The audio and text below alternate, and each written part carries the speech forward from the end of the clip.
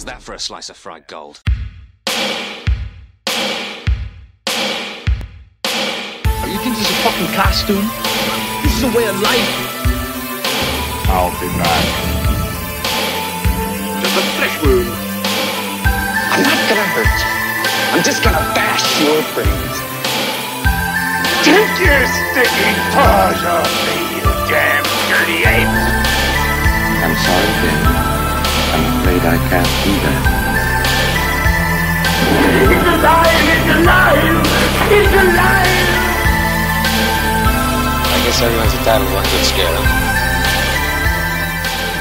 Well, hello, and welcome to the Cinema Shock, the podcast where we take deep dives into the story. said the cinema shot. Oh, did I really? I didn't even mean to that time. I didn't even mean to. Damn it! I was about to t- comment on how perfectly and smoothly this intro was going to be, as as opposed to every other episode, but I still fucked it up. Oh man! I wrote it out for it. you. Justin wrote down what I needed to say here, and I still fucked it up. Uh, welcome again. to. Well, hello, and welcome to Cinema Shock, the podcast where we take deep dives into the stories behind your favorite cult and genre films. I'm your co-host, Gary Horne. Hey, I'm co-host Justin Bishop, and uh, good job, Gary. That was Thank you so much. perfect. That the second part of that was perfect. much. I appreciate. And we are, man. I, Gary, I'm so excited about our guest today. We've been trying to get this guy on for a long time. I'm fucking sick of this guy. We are, uh, we are joined today by writer and comedian and chainsaw salesman. Did you know this about this guy, uh, Mr. Todd A. Davis? Welcome to the show, Todd. Thank you. Listen, they are only for juggling. Strictly for juggling. And all these And people we- are like, oh, I want to trim these branches. I'm like, you psycho. Yeah, Yeah, who does you doing? that? Whatever. What? So uh, this is uh, a brand new series. This week is beginning. This is going to be a multi-part series. I don't even know how many parts. I haven't counted, and uh, and this is going to be a series. I don't know. I think we're doing five or six episodes this 1st go around. Then I mean, we're we going to. literally Uh, looked at it right before this, but that sounds right. Sure, I don't remember. I didn't. I didn't count. I wasn't paying, but uh, five or six. I don't know. But then uh, in the future, we're going to continue the series, and we we have our reasons for wanting to break it up that way. So, uh, you know, just trust us, I guess. When But you have your own movie podcast, you can break it up however you want. But you're That's listening, true. You're listening to the Cinema Shockers. so Uh, but yeah, we're going to spend the next few weeks talking about a guy named Tobe Hooper. Uh, so if you know that name, if you've heard the name Tobe Hooper, if if uh, that name means anything to you at all, He was Venom in the Spider-Man movies. no, he's the Scranton Strangler, dummy. oh, sorry. when I say the name Tobe Hooper, a couple things might come to your mind. The first is probably the image of Leatherface, which is the monster at the center of Hooper's 1974 breakout film, The Texas Chainsaw Massacre. The other thing that you might think of is the persistent rumor that Hooper actually did not direct the film that was his most financially successful film, 1982's Poltergeist. The- the- Hooper's career is interesting because just like we, we talk about the masters of horror, we've talked we we did a whole series on one of them. Well, I'm sure we'll hit the rest of them down the line. But just like other masters of horrors, you know, guys like Wes Craven, George Romero, John Carpenter, not every movie that Hooper directed was great. Some of his films, especially some of the stuff later in his career, are, are very bad. They're uh, nearly unwatchable. There are there are a handful that are nearly unwatchable. Eh, But unlike Craven, Hooper didn't create multiple successful franchises. He didn't have a string of like just bona fide classics like someone like John Carpenter did. And he didn't have the distinction of creating an entirely new subgenre like Romero. But I think that Hooper's story is still one that's worth telling, if only to showcase how willing Hollywood is to simply discard an artist who has a true vision if that vision doesn't fit their standards of success. So we're calling this series The Tragedy of Tobe Hooper. Shout out to Gary for that title, by the way. Good job, Gary. Oh, thanks. Very nice. Uh, but we're calling it the tragedy of Tobe Hooper because that's what his career ultimately was. It was a tragedy. It was. Uh, this is a guy who began his career with a film that would literally forever change the face of cinema but he ended his career doing direct to video direct. His final film was filmed in like Dubai or somewhere where it was the only place he could get financing. He he was completely discarded by the Hollywood machine. Wow. So, in order to tell his story, we've got to go back to the beginning to the film that put Hooper on the map. That film, of course, is 1974's The Texas Chainsaw Massacre. What happened was true. The most bizarre and brutal series of crimes in America. Sally, I hear something. Stop! Stop! This is the movie that is just as real, just as close,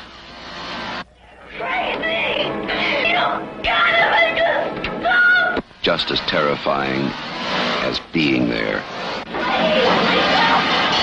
Even if one of them survives, what will be left? The Texas Chainsaw Massacre. After you stop screaming, you'll start talking about it. Before we uh, begin, I want to issue a couple of apologies. Um, one of the apologies I'd like to issue is that I understand that Venom in the Spider-Man movies is played by Topher Grace, and I could have gone with a joke that Tobey Maguire uh, was Spider-Man, so I could have said he's played Spider-Man. You were doing, but I, you were doing. You were we understand where your Venom heart was. Gary. You're Yeah. wrong, but I- understand where your I heart could not have fucked this up more, and I'm so sorry. Oh, you could. so and, there, and there's still a lot of time for you to fuck this up. So that's we're true. just getting started. The other apology I want to issue is that we know a lot of you have seen the Texas Chainsaw Massacre, and there is a lot of shit about the Texas Chainsaw Massacre, and there is no way, there is no way possible that we will hit every piece of information known. God damn it, about- we're gonna try. we're gonna try. we're gonna we're gonna we're gonna cut a path through this, but I'm just saying it's uh we'll probably miss something somewhere. So forgive us ahead of time. There's a lot of shit about this movie. Well, yeah, and, and also you have to remember that a lot of the information we're getting uh, are memories of people who were involved in the in the production of the movie, and that movie was made nearly half a century ago. So some there there is contradicting information depending on who you talk to. If you ask uh, Tobe Hooper about one particular aspect of production, then you ask Kim Henkel or or Gunnar Hansen or whoever else about it, you might get different versions of the story because that's just how memory works. Uh, I will say before we get into it, though, that we have I, I should acknowledge where we got a lot of this information. Uh, obviously, we, me and Gary, we both read a lot of various interviews and and whatnot, but a very important part in this particular episode uh, was an article written by John Bloom, aka Joe Bob Briggs, in Texas Monthly called "They Came, They Sawed." It was a it's a very long, very uh, in in depth article that he wrote about the film back in 2004. It also appeared in an earlier form in his book "Profoundly Disturbing" in 2003, which is a great book if you love cult movies. I highly recommend it. Uh, then there's also a book that I picked up called "Eaten Alive at the Chainsaw Massacre" by John Kenneth Muir and that's a it's a it's a career overview of Tobe Hooper's entire filmography, basically.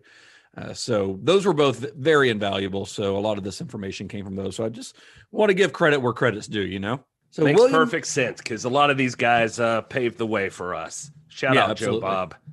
Yeah, Joe Bob is basically the only the reason we're here. you know, like he is he was doing this shit that you know, giving background on movies uh when we were in diapers. So so William Tobe Hooper was almost literally born at the movies. Uh, one night in January of 1943, his mother went into labor while sitting in the Paramount Theater in Austin, Texas. Man, I tried to find out what movie they were watching. I could not find that information anywhere. Oh, that would have been fun to know. Yeah. I really wanted to know what movie they You were watching. have you must have been able to narrow it down based on the time frame, though, right? I didn't try that hard. Oh, and also in the 40s i mean in the 40s like distribution wasn't like it is today. So something True. playing in austin wouldn't necessarily be the same thing playing in other parts of the country. So who the fuck knows? I don't know. Anyway his father uh, who's the owner of a hotel in town and also i found out owned several movie theaters uh, he, he was a movie lover. And he would often head to afternoon matinees. He'd you know play hooky from work because he was the boss and could and he would take his wife and young son to the movies with him. And according to Tobe Hooper, he saw a movie pretty much every day of his young life, learning cinematic language essentially before he could actually learn to speak. Like he just absorbed movies. And like many other filmmakers of his generation, he got his start in filmmaking by using an eight millimeter camera that was owned by his father. I mean, we've heard this story how many times before? You know, this is this the movie brats, the the Spielbergs, the De Palmas, the Scorseses, like they all kind of have a very similar background, and uh, many of which come from very similar families. Uh, you know, at uh, Romero, or not, sorry, not Romero, Spielberg famously comes from a a family. Uh, he's a child of divorce uh, something that influenced a lot of his films. The same thing could be said about Tobe Hooper. Tobe Hooper, uh, you know, he's making movies when he's a kid. He picks up that camera for the first time when he's when he's three, but he really dives into it later in his childhood when he was like eight or nine. And this is right after his parents got divorced when he was eight years old, and mm-hmm. that had a huge impact on him. And he kind of lost himself in making these little movies with his friends. And he also kind of lost himself in one of the very things that influenced George Romero, which are EC comics, you know, Tales from nice. the Crypt, The Vault of Horror, things like that. Like Tobe Hooper loved that shit. I would kill, not literally given the subject matter we're discussing today, but uh, to have this kind of revelation so early on. Because as I sit here sipping my beer and talking about other people with real vision, I wish some something would have clicked in me at three years old. Uh, and then you know, with Hooper like starting almost immediately, the guy was literally making little movies. And by seventh grade, I saw he was doing like class projects using films, and uh, he was already even being innovative. There's a story about him being, uh, you know, in a science class during seventh grade, like making a uh, a movie inspired by Hammer's The Curse of Frankenstein. And yeah. being so in love with the color of the film, he figured out how to make a vignette style movie uh, looking the same way using all the students, which is just insanity to me. But but then he also talks about being at lunch and hearing the other kids talk about the movies and just really deciding then like that's what I needed to do. Yeah. And by like 17, his and uh, supportive parents also is nice. Uh, he had a budget of seven hundred dollars at seventeen, donated by his father, and he made his first like sixteen millimeter film called The Abyss, and it was only yeah, like a little short film. Yeah, it was only like 30 minutes, 20 people saw it, but he talks about it like just the moment it was completed, like having sound, music, the whole thing. It felt like he had a huge breakthrough. Like, okay, I can do this. Yeah. I can be a movie director. Oh yeah. I mean, this later it's remade by uh, James Cameron, I believe. Yeah. right, right, yeah. now this one's about like a prisoner or something that uh, is in the electric chair. He escapes and then eventually gets killed and goes to hell, but then finds out he never really escaped at all and is just dead from the electric chair. Oh, wow. Yeah. And he made this when he was how old? He was 17. Jesus. That's awesome. And I think the the idea that he was a big fan of EC Comics has a big impact on some of the stuff he would do later as well. Just like we talked about, like with Romero. Uh, you know, Romero had a history of putting social commentary in his movies. You know, uh, we talked about that a lot during that series, and that's really something. I don't know that we discussed this during the Romero series, but that's definitely something that came from those EC comics. Those EC comics were often commentary on what was happening in the world. You know, they they they would use their genre trappings as sort of metaphor for things that were going on in the world, and that's something that Romero definitely used, and it's definitely something that Tobe Hooper is going to use throughout his career, including on the film we're talking about today. Absolutely. If you, uh, you know, if there, any, if anybody is out there, you know, go pick up your um, most recent issue of Heavy Metal Magazine. I mean, it's all short comics, but you can see, you know, written, be, you know, between the lines, they're all commenting on something, be it political, uh, social, uh, religious, whatever. And uh, yeah, this it just this just continues that tradition. So as Gary mentioned, Tobe Hooper, you know, he spent a lot of time as a kid working on little movies. And in 1962, time to go to college, he enrolls at the University of Texas and he became one of the first students in their new film program. Uh, because the film program was so new at, at UT at the time, they didn't actually have any filmmaking equipment. They only had like two other students, I think, behind, besides Hooper. So Hooper would head down to the local TV station where he would borrow the station's 16 millimeter camera to work on his film projects for school. Eventually, the station manager there, Robert Schinken, began giving Hooper small jobs shooting footage for the station, which led to his first major directing job, which was a feature documentary about the folk singers Peter, Paul, and Mary called The Song is Love. I guess we should also say he's dropped out of school by this time. He only lasted two years at UT because he was more inform- he was more interested in actually going out and making movies than learning how to make movies at school. Nice. That But seems Hooper's to be a first- reocurring theme too, isn't it? A lot of Yeah, those great, a lot of those great ones say, "Screw this! I'm going. I'm just Yeah, gonna go mean, do it." Say fuck I'll- college kids.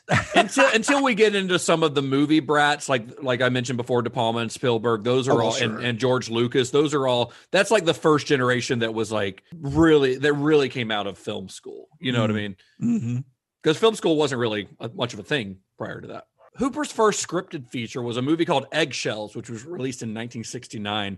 That film was shot for about 40 grand, uh, primarily with a hand, he- handheld camera uh, that was sort of aping the style of Hooper's idols, Federico Fellini and Michelangelo Antonioni. Uh, if those names sound familiar, you might have an idea of what type of movie Hooper thought he was making when he made Eggshells.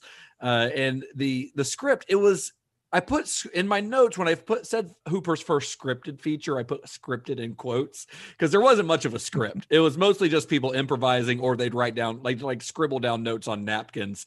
Uh, but there wasn't much of a script, and they were kind of shooting at this commune of hippies, and just was- like had they they'd have no plan. They'd just go in and figure out what they were going to do that day. But Hooper ended up because there wasn't enough material. He ended up writing in the the idea of there being like a ghost in the bottom of this house. yeah, that I was haunting them. wondering about this. I'm glad you brought it up. Eggshells is on YouTube if you look Oh, hard enough. Yeah, I've heard it's pretty not good.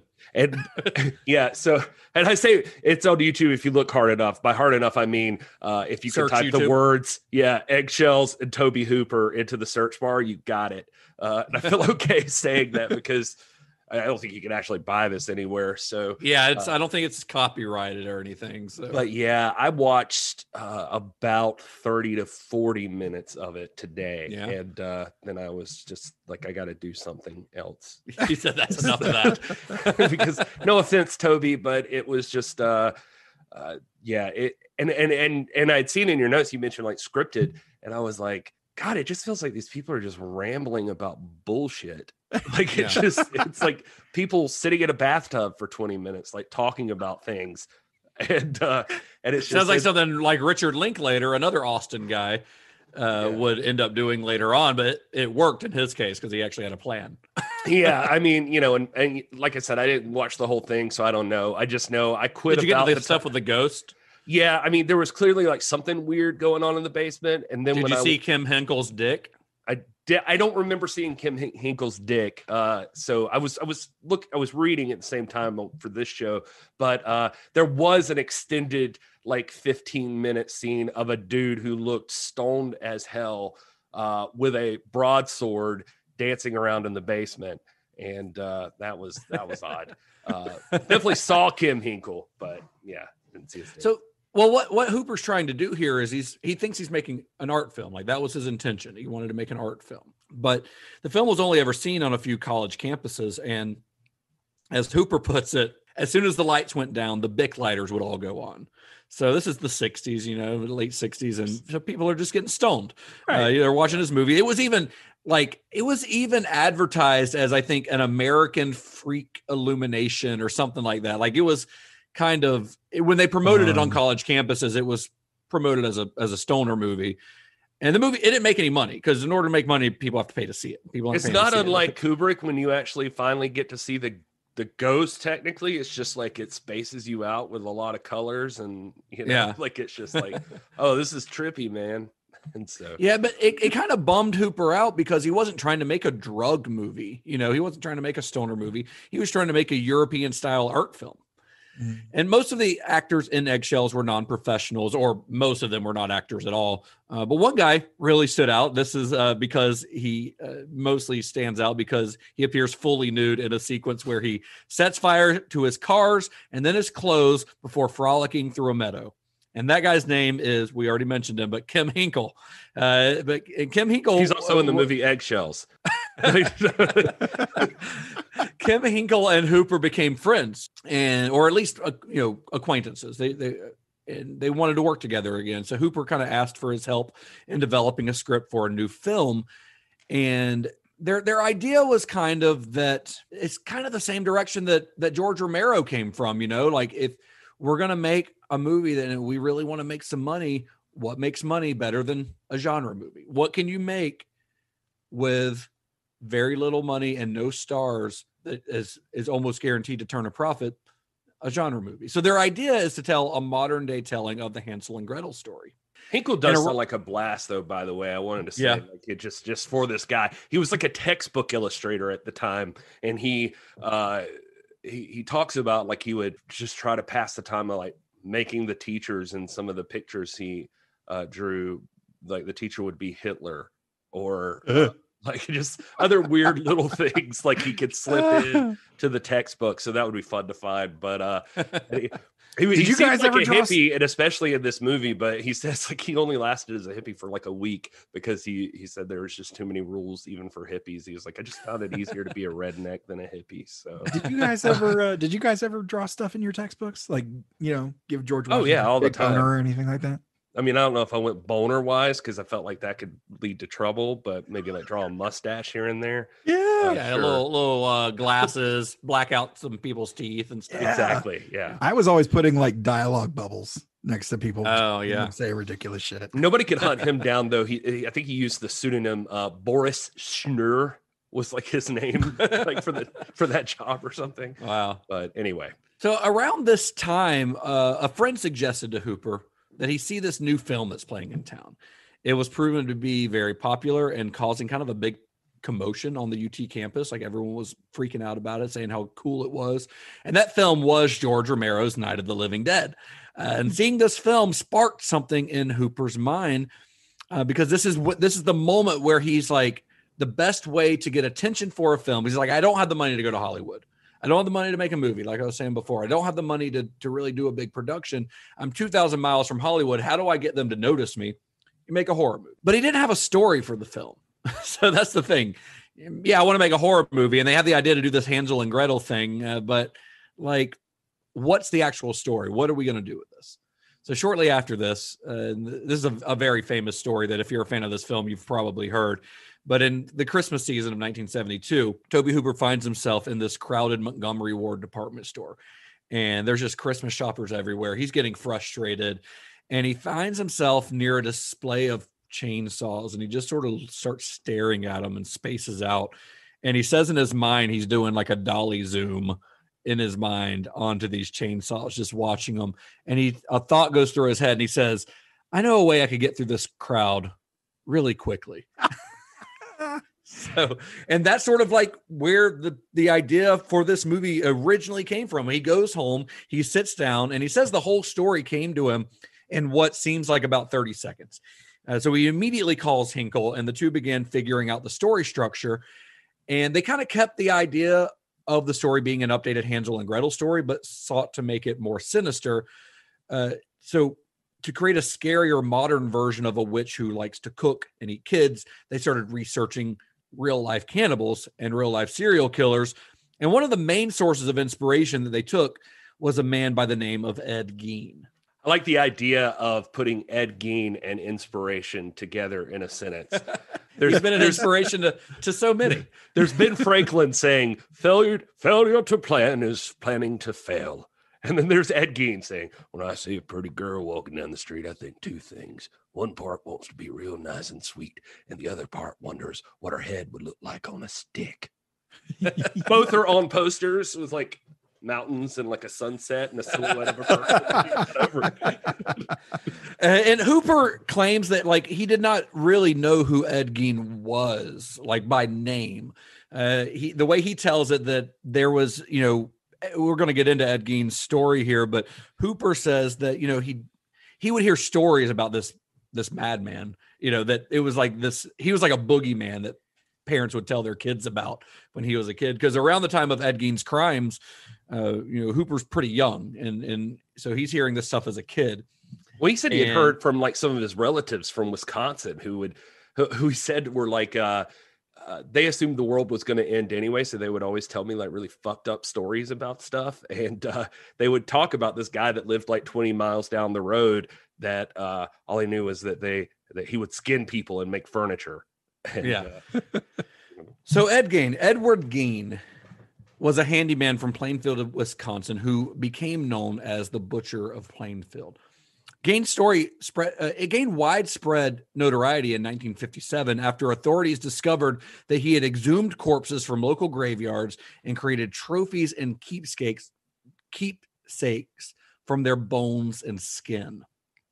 Gain was also responsible, at least he admitted to the uh, the murder of two women, Mary Hogan and Bernice Worden. And it was Worden's death that eventually led to Gaines' capture. See, her son Frank Worden was a local deputy sheriff, and when he he entered the hardware store that his mother ran on the evening of November 16th, 1957, he found the store's cash register open and there were there was blood streaked across the floor. He knew something's up. That's what we call a clue.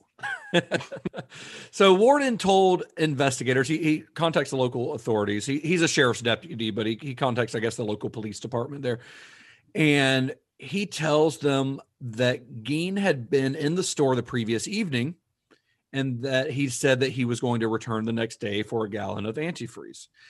And a sales receipt for a gallon of antifreeze was the last receipt written by Worden on the day that she disappeared, which led authorities to arrest Gein and search his farm. So, upon this search, Worden's decapitated body was found in a shed on Gein's property, hung upside down by her legs and dressed out like a deer, like literally gutted like a deer. Like she she is cut from from like neck to anus, essentially, like in in her body open and it's a horrible vision. Like when you hear stories from the police officers who came in there's no electricity on Gein's farm so they're walking in this old farmhouse with flashlights and this police officer feels he bumps up against something in this shed turns around and it's a headless body hanging upside down gutted and he wa- he goes out and he's like it is the most horrible thing I've that's ever not seen supposed to be here. that's not supposed to be here. Hey, wait a minute. Hang on. Murphy, did you? Oh, you guys are playing. Oh, So they decided to search Gein's house. And when they started searching his house, they found, among other things, they found a waste basket made of human skin. They found human skin covering chair seat, skulls used as the tops of bedposts on Gein's bed. They found bowls made out of human skulls, some of which still had food in them. He hadn't done his dishes yet. Uh, they found a corset. that's the truly horrifying thing. they found a corset made from a female torso skinned from shoulder to waist. Uh, they found leggings made from human leg skin. They found a belt made of human nipples.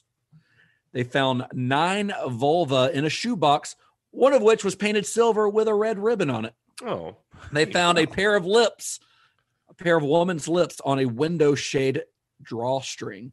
They found a le- lampshade made from a human face. And most notably, for the sake of our story today, several masks made from the skin of female faces. Woo. love to wear the lady skin. That's it. You like to wear the I'd lady skin. that- I'd fuck He me. I'd fuck me. Well, have you that's seen the my thing, Have man. you seen my titty couch? Have you Have you seen it? You gotta you got to sit on the titty couch. The titty couch is super comfortable, and it's a, don't don't get me wrong. I'm not biased. It's not old. It's not old lady titties. It's man titties. I keep the lady t- like the armrests and the head area is lady titties because that's where you want the most cushion. I've really thought this out. Listen, how do, how else do you think they got the idea for Project Runway? You got you got to lay down on the titty couch. Designers, I'm just make saying it before you go anywhere else, officers, if you would just just tell me, am I right? It's like my pillow on steroids. Designers, today we've gotten you uh, a clerk from a local hardware store. See what you can do with this. Speaking What of do which, you- how my do you pillow think- filled with nipples. So just an idea, throwing it out there for the next guy. you know, obviously, I'm How do you think up. that human nipple belt was latched? How do you think it latched? do you think he attached a latch to it? Mm, Baby teeth, because they don't they Mm, he didn't. I think if one don't, nipple is don't, ba- pierced babies latch and he could push like somebody with extra long nipples, like I'm going to say not a lot of pierced nipples in the 1950s Well, in Wisconsin. maybe. well, Gary, it it is. Uh, you you made a little reference there to Buffalo Bill in your in your bit you were doing there, and it should be noted that elements of Gein's story have inspired several important pieces of pop culture over the years, most notably in Alfred Hitchcock's Psycho, and of course the Robert Bloch book that inspired it, and in the Buffalo Bill character in The Silence of the Lambs. And, and we should say you you kind of also joked you, he liked dressing up in lady parts. He very much liked dressing up in lady parts, and it's because he had some severe psychological issues. Obviously, he died in a mental hospital, but he had some issues regarding his mother. And we're not we're not a true crime podcast, so we're not going to get too far into that. But he would uh, essentially dress up as his mother. He would dress up as his mother uh, by using the body parts of other women. Like he would put on those those leggings made from leg skin. He would put on the torso of a woman's body, which gave him tits, and you know, he like and he would wear women's faces. But not just my mama. Did you see the titty couch? Don't forget to tell them about the titty couch. of course, another major source of inspiration is Leatherface, uh, the soon-to-be star of Tobe Hooper's next film. So, with this inspiration, Hooper and Henkel worked on the script, banging out the first draft in about six weeks, and then they settled on a name for the film, which is Head Cheese. I also think it's worth mentioning, just for the sake of it, that uh, Henkel also says he ran he ran with Gain or Geen. He he, he says that 100. percent But also, uh, there was this guy Elmer Wayne Henley, and if you look at old photos of this guy Elmer Wayne Henley, uh, he looks a lot like the hitchhiker character Ed, that Ed Neal plays. Uh, Yeah. Little skinny guy whose story is basically that he'd recruit people, mainly younger guys, I think, to bring to this older fella named Dean Corll, who would kidnap, rape, torture, murder these guys. And the story's pretty crazy, but eventually Elmer Wayne Henley ended up shooting Corll to stop him when one of the victims apparently just asked him, like, are you going to do anything about this? And uh, when he was arrested, he was very matter of factly just like, all right, I did this stuff. Now I'm going to stop and I'm going to pay for it. Uh, and, and this was going on during like 1970 to 1973. So it would have been big at the time. And what really captured Henkel, he says, is like this idea that there was this weird morality involved in this guy's mind that, that this kid had. He just wanted to play into it, just like someone doing what they do. And then there's also these weird moments of like, like like in the movie, yeah, the Yeah. morality. Like the old man, I'm sure we'll talk about. But it's like when the old man gets pissed because Leatherface tears up the door, and Right. he's just like, "Don't you have any pride in your home?" Yeah. and it's it was weird because I almost I almost like in the movie, and I know we're not there yet, but like you, there there are moments if you watch it, there are moments that you almost even feel for Leatherface at times. Oh, Obviously, absolutely, yeah. he's like a handicapped dude, and there's moments where he's just like, "Why the fuck do people keep coming into my house? Like, what am I supposed to do?" And, uh, Uh, it, by the way, El- Elmer Wayne Henley, if you're a fan of the show Mindhunter uh, on Netflix, It's a he is a character show. that gets interviewed uh, by by Holden Oh, in that. I think in season two. Yeah, supposedly part of the Hansel and Gretel ideas where they were going to have like a troll under the bridge, and that eventually, Yeah, that was their that well that was that was Hooper's original idea. Uh, is to is to have a troll under the bridge as the monster, and Kim Henkel was like, "That is stupid, and we're not doing that." supposedly a lot of that part went to the Leatherface character, but Right. uh, he also says like a main factor in it was his family doctor, Dr. Martin, Doc Martin. But he said, "quote." Uh, Doc Martin, he delivered me. I remember that he'd once told me this story about how when he was a pre med student, the class was studying cadavers, and he went into the morgue and skinned a cadaver and made a mask for Halloween. We decided Jesus. Leatherface. Yeah, he said we decided Leatherface would have a different human skin mask to fit, fit each of his moods. The, Um, the day that the, my doctor tells me that story is the day that I find a new doctor. Yeah. exactly. Um, one I'd other be- thing I I'd wanted like- to add. I would be backing out of that room like Homer, just going into the bush. maybe All right, Doc. we'll be maybe seeing this ya. is not the guy to Uh, check your cough, mom. finger Like, you just guns. gotta- See I ya. forgot something in my car. I'll right back. Another positive to mention here, just because it's nice to see the chain of things, like you mentioned, uh, Night of the Living Dead earlier, and I love seeing the connections. But the guys also admit to being inspired or at least motivated by uh, the Legend of Boggy Creek, uh, which was out in '72 and it was touring around and kind of Great killing it at the drive-ins. But it was directed by Charles B. Pierce, who would go on to do The Town That Dreaded Sundown.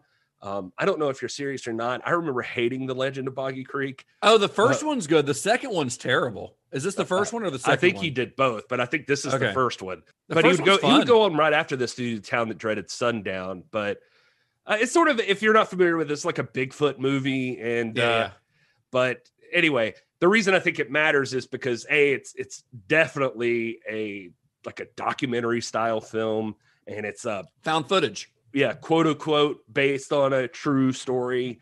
And uh yeah, and anyway, and B, it also kept everybody motivated, or, or Henkel and uh and Hooper motivated because it was succeeding, like it was killing it. And uh Yeah. they were just they were like, Oh, this is gonna work. And it was made for no money. Yeah. Right. So, with a screenplay in place, Hooper and Henkel formed a production company called Vortex Incorporated, and they went to a man named Bill Parsley to help with funding. So, Parsley was essentially a politician there in Texas. He was the vice president of financial affairs at Texas Tech, but he fancied himself a movie producer. He'd already produced a couple of features, uh, neither of which they're both kind of lost to history. Uh, but, you know, that's what he kind of told people. He told people he was a movie producer, right? Hooper and Henkel were introduced to Parsley by a guy named Warren Skaaren, who was the head of the newly formed Texas Film Commission. Film commissions in, in states were not really a thing at the time. Arizona had had one that Skaaren kind of saw. He saw how successful it had been, brought a lot of jobs and a lot of uh, income into Arizona. So he went to the Texas government and asked them to make one for Texas, and he was the head of it. So he was the very first one to, to head that up. And so he was eager to get some homegrown projects into production. So after meeting with Hooper and Henkel, Bill Parsley raised $60,000 for the film's budget in exchange for 50% of the picture. I think $40,000 of that 60 was out of Bill Parsley's own pocket, like his oh, personal money. It's important to say too on that, it was a deal that it's like for 50% of the picture, except if they weren't done in a certain amount of time or it didn't get completed, he owned 100% of whatever Right. they did. And Skaaren, for for his part, aside from brokering the deal between Parsley and the filmmakers, he made one other major contribution to the film. So just a week before principal photography began, he suggested that Hooper and Henkel throw out their working titles, which we mentioned with Head Cheese was the original title, which is a horrible title. It's Um, also the name I kinda- of uh, I Al, like- I kinda it's like Al it. Snow and Steve Blackman's tag team in WWE. There's our wrestling reference for the week. I mean, honest, I love head cheese as a culinary dish. I think it's delicious, uh, but I don't know how much marketing potential it has. Uh, they were also at, at one point changed it to Leatherface, which is a cool title if you know who Leatherface is, you know.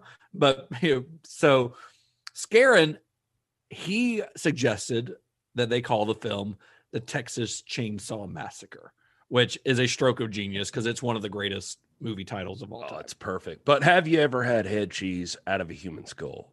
That's I can't say I have, Ed. Have you have you ever had head cheese out of a human skull sitting on the titty couch? Because that's that's the real kicker. I think feel like you should have a Wisconsin accent or a, what you're, while you're Oh, doing yeah, that's a good point. Yeah, You're I've doing- been- you're doing I already more of a feel like I've been fucking it up. Well, because all I you're can do doing more Wisconsin wise is like, "Hi, Bobby. Have you ever had?" Oh, wait, no, that sounds Irish. Oh yeah. What was that? Oh yeah, oh, you got to have the head. Oh, no, I always go No, Irish. You went Scottish. You're going yeah. Scottish or something. Get in my belly, people. oh, Leatherface. I got my chainsaw coming for you. Get in my belly. Oh God. Yeah, I don't Uh, so most of the film was cast with relatively unknown actors. Uh, the lead role of Sally went to a 21 year old Texas uh, University of Texas student named Marilyn Burns. Wait, before we get to Marilyn Burns, but I, I got I got sidetracked with the joking, but I did want to say that one of the cool parts I loved about Warren Skaaren was that one of the first movies he did uh, as the uh, Texas Film Commission or whatever that he promoted was the movie Lovin' Molly with uh, Yeah. Anthony Perkins and uh, I forget who else. But anyway, which Tobe Directed Hooper- by Sidney Lumet, I believe. that is correct. Yeah. yeah. And uh, Tobe Hooper was on the set of Lovin' Molly, uh, stealing chicken Sort of. wings. Just stealing food. he stole he stole some chicken wings and he got kicked off the set. Well, he was standing in line and they were like, "Do you work here?" And he's like, "No." And uh, that's from the Joe Bob article. But like Joe Bob asked, he was like, "Why were you there?" And he's like, I don't remember. Like, I was just He's like, I, I guess I, was just got hungry. somebody or something, and I got hungry, and so I got in line. But also worth mentioning from all that is the other guy, uh, Robert. Uh, there was Robert Kuhn, who was the lawyer for Parsley that drew up the paperwork and ended up buying into the enthusiasm for everything. He donated a bit, and another one of his clients was a Richard Saenz, who also threw in, who still somehow gets listed as an official producer when some of these guys don't. Um, but he's along with Parsley, Parsley, Hooper, and Henkel, like on the credits. And I guess it's because he still owns like 6.24% of the movie. But he's just funny because he's been wanted ever since on fugitive drug charges. And Oh, uh, he he's been like on the run since like the 70s and 80s, and the cops never found him. His house had an escape tunnel built in it. And uh, but anyway, somehow he's apparently always been able to collect his royalty checks. Interesting. Well, uh, you know, it's funny you mentioned Lovin' Molly. Lovin' Molly was a big deal, and it- it's actually kind of an interesting part of the Texas Chainsaw Massacre story because um, Marilyn Burns worked on that movie as well. Well, she was originally cast in a role, and then Sidney Lumet had like been they kind of had to like be like, "Oh, sorry, we kind of promised this role to somebody else," and that somebody else was a young Susan Sarandon. Yeah, which is So, but they let but they let Marilyn Burns hang around, and she was like the stand-in for Blythe Danner and Susan Sarandon, even though she is not the same height or build as either of them. But she she got a job as their stand-in just because Sidney Lumet kind of felt bad about firing her.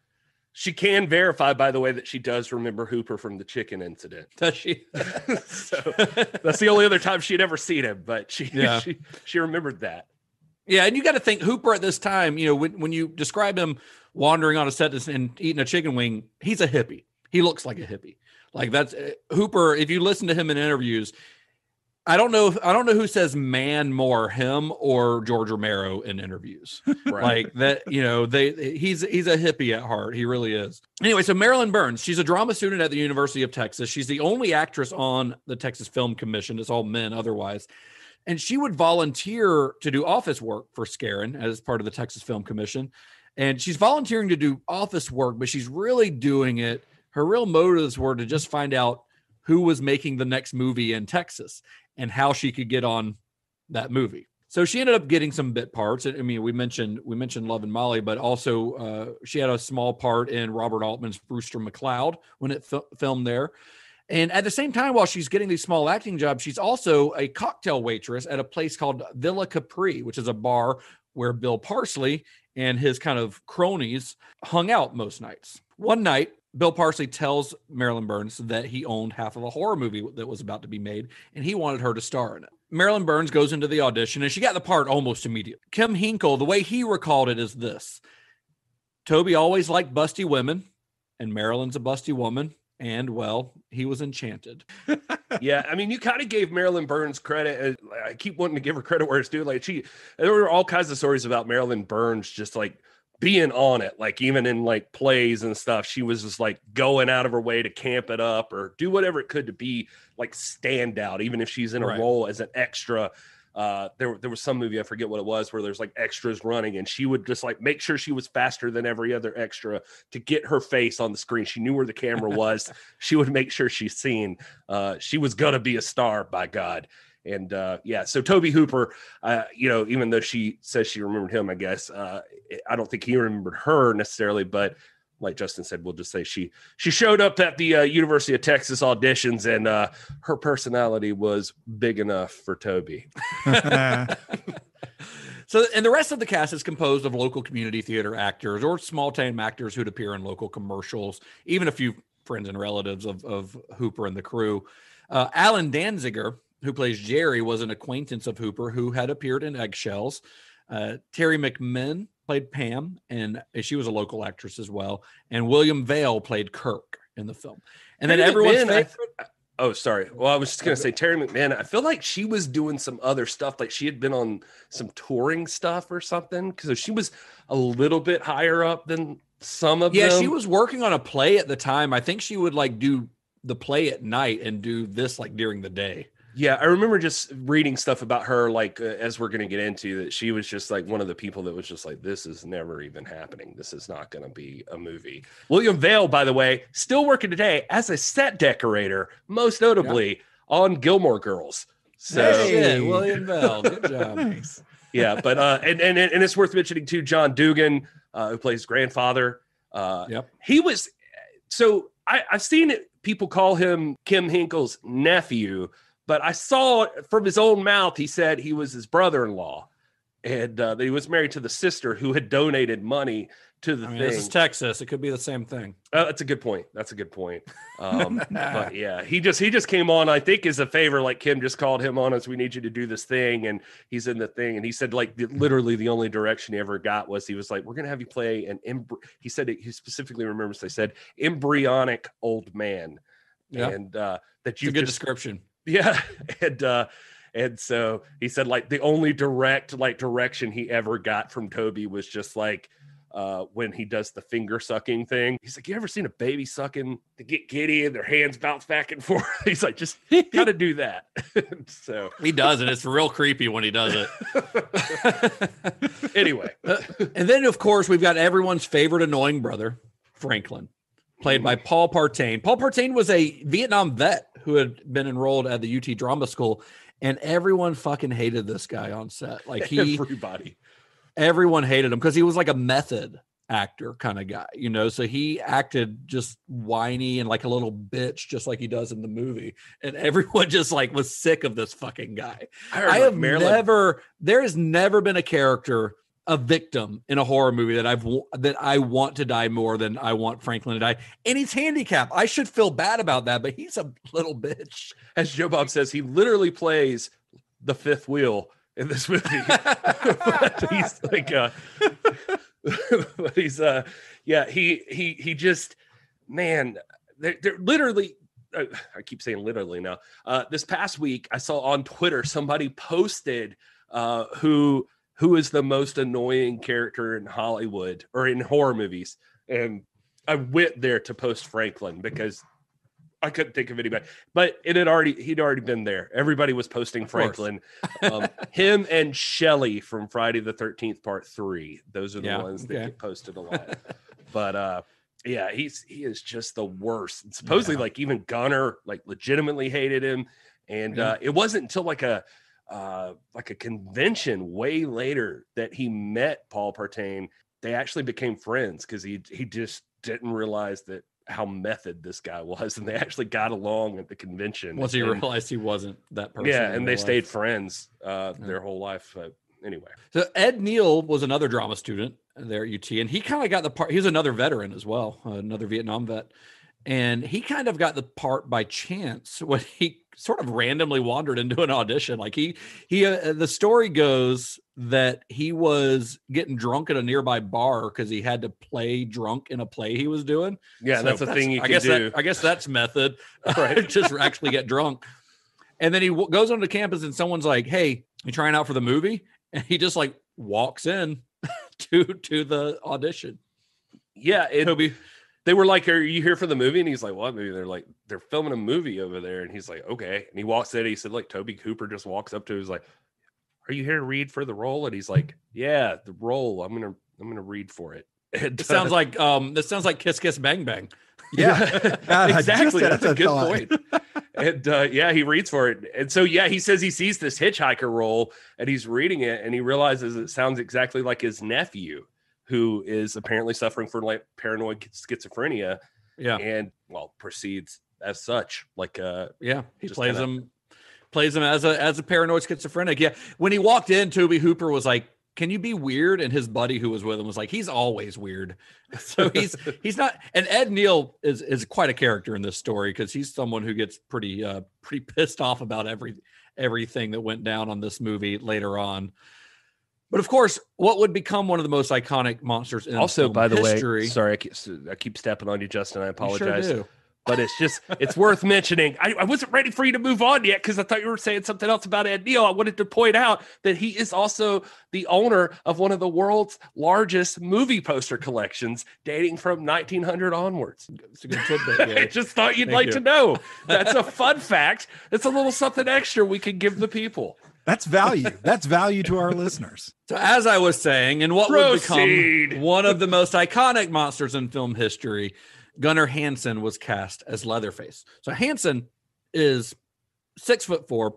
He's about 300 pounds. He is a hulking figure. He's huge. Sound like a bitch. He's born in Iceland, but raised in Texas. Well, raised in Maine and then mostly Texas. Uh, he also attended UT, where he majored in English and math before going to grad school, uh, studying in uh, Scandinavian studies. And as a college student, he began doing some theater work. And when he heard that Texas Chainsaw Massacre was being filmed, he auditioned for the role and easily won the part. Uh, well, it, it wasn't that easy off the bat. The, the role had already been cast, but the actor who had been cast as Leatherface, and I don't know who it was, I can't find that information anywhere, but he apparently got drunk in a motel and refused to leave. So they just fired him. So that's how Gunnar Hansen ended up getting the part. But he shows up to the audition and Tobe Hooper sees him like coming across the street and this like giant dude. And he said, Tobe Hooper said he walked in and just like filled the doorway and basically immediately got the role. So, in preparing for the role, Hansen had decided that Leatherface w- was mentally challenged. And he actually, and, and he's like, okay, this guy's mentally challenged. He's never developed properly, he's never learned to speak. Uh, so, to kind of prepare to play that, he visited a special needs school to kind of study how the kids moved and interacted with each other. And you can really see that in his performance in this. I think he's Do you feel not like- he's not playing him just like a mindless killer necessarily, like a Jason. when I was watching the family portrait documentary, like he's talking about, like he, I, I was just wondering, I was like, can this fly today? That he, he apparently like basically checked in. He was there pretending to be a student or client or whatever you want to call it. Uh, uh, I don't want to call it like an inmate, although he does in the documentary, but of this place, just pretends to be mentally challenged like in the place to try to pick up all of this stuff it's just kind of interesting to to see that like i'm not sure that I don't think would would work work. out. Well, I don't, I don't, I don't think I don't think it would be possible these days. I think it would be harder to to uh, kind of fake your way into that. There'd be a lot. I think record keeping's a little bit better now than it was. yeah So- yeah, yeah. True. So we, we've got most of the cast in place, but and, and then Hooper finds out he's required to hire at least one card carrying member of the Screen Actors Guild uh, for some reason. He has to hire at least one SAG member, and he had to pay at least one SAG member at union scale. And he, I think he had to hire like two union crew members or something. So he contacted Jim Siedow, who he had met a few years earlier on the set of another Texas filmed movie. Uh, one, it, it's one I can't remember the name of it. I didn't write it down. the Wind Splitter. important. Yeah, it was described as like a Texas Easy Rider, and Tobe Hooper is actually in it. He plays like a villain or something in it. He's an actor in it. Uh, but anyway, they met there, and then Siedow says he he never heard, and and they didn't keep in contact. And then one day, Tobe Hooper just kind of calls him out of the blue and offers him this role in the movie, and he gets cast as the cook, which is probably the most I'd say morally complex of the family in this. Yeah, yeah, it was the wind splitter. I did look that up um, for anybody who's wondering. But Siedow, yeah, like you said, he didn't remember who the hell he was, and uh, I don't know if he like just stood out to Hooper or something. There was never really any explanation I saw about it. And they even as his part, you know, since they obviously, like you said, they had to pay him as part of SAG and all of this stuff. They even offered him like to pay him in shares of the movie, unlike everybody else. He just said, "I'll take cash, thanks." But Yeah. it, which in retrospect might have been smarter at the time. So I don't Well, know. yeah. Now, the Texas Chainsaw Massacre was filmed primarily in Round Rock, Texas, in the summer of 1973. Round Rock, Texas, at the time was very rural. It's not as much so anymore. Uh, while the $60,000 budget was about 20 grand more than Hooper had used on eggshells, that's still a pretty tiny budget, even for the early 1970s. And because of the tight budget, there weren't many amenities for the cast and crew of about 40 people. So, uh, so most of the sh- shoot is taking place in and around this farmhouse that they, they had rented.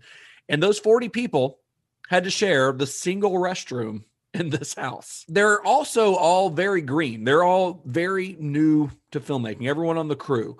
Uh, Daniel Pearl is the cinematographer. He had never shot a feature. He was a documentary filmmaker, a student, never shot a feature film.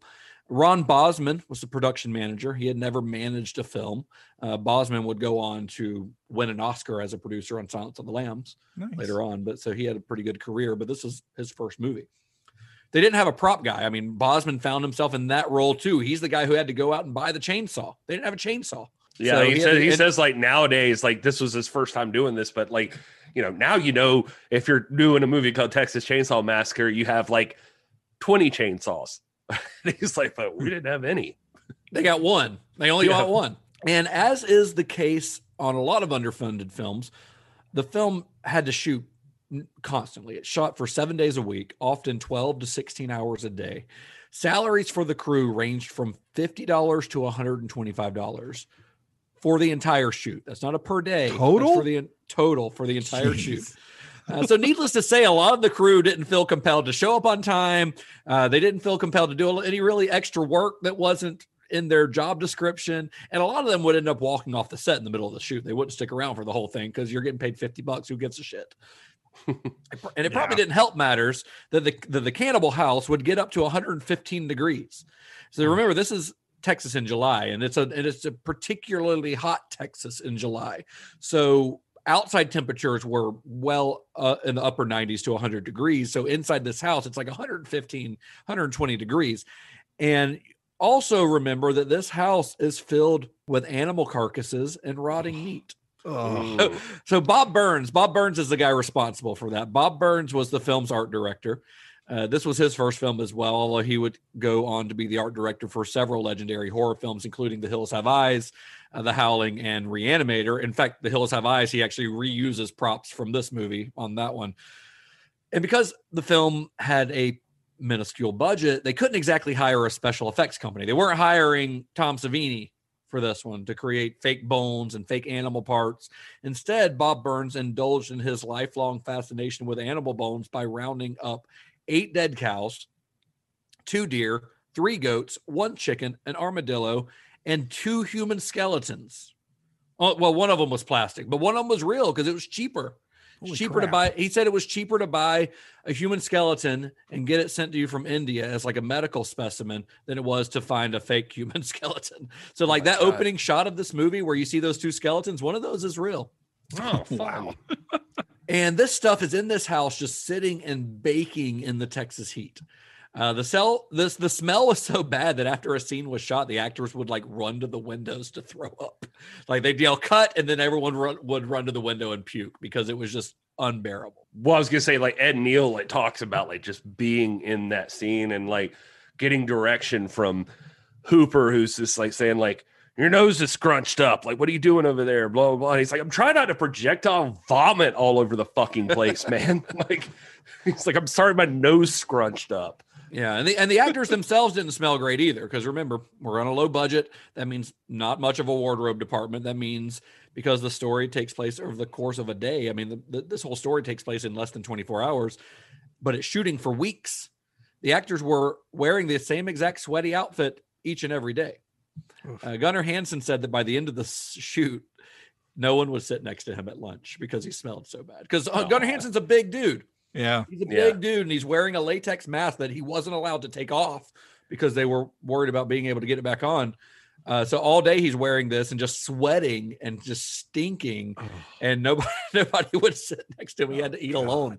Uh, Marilyn Burns said that by the end of shooting, her outfit was covered in so much stage blood that it was practically solid.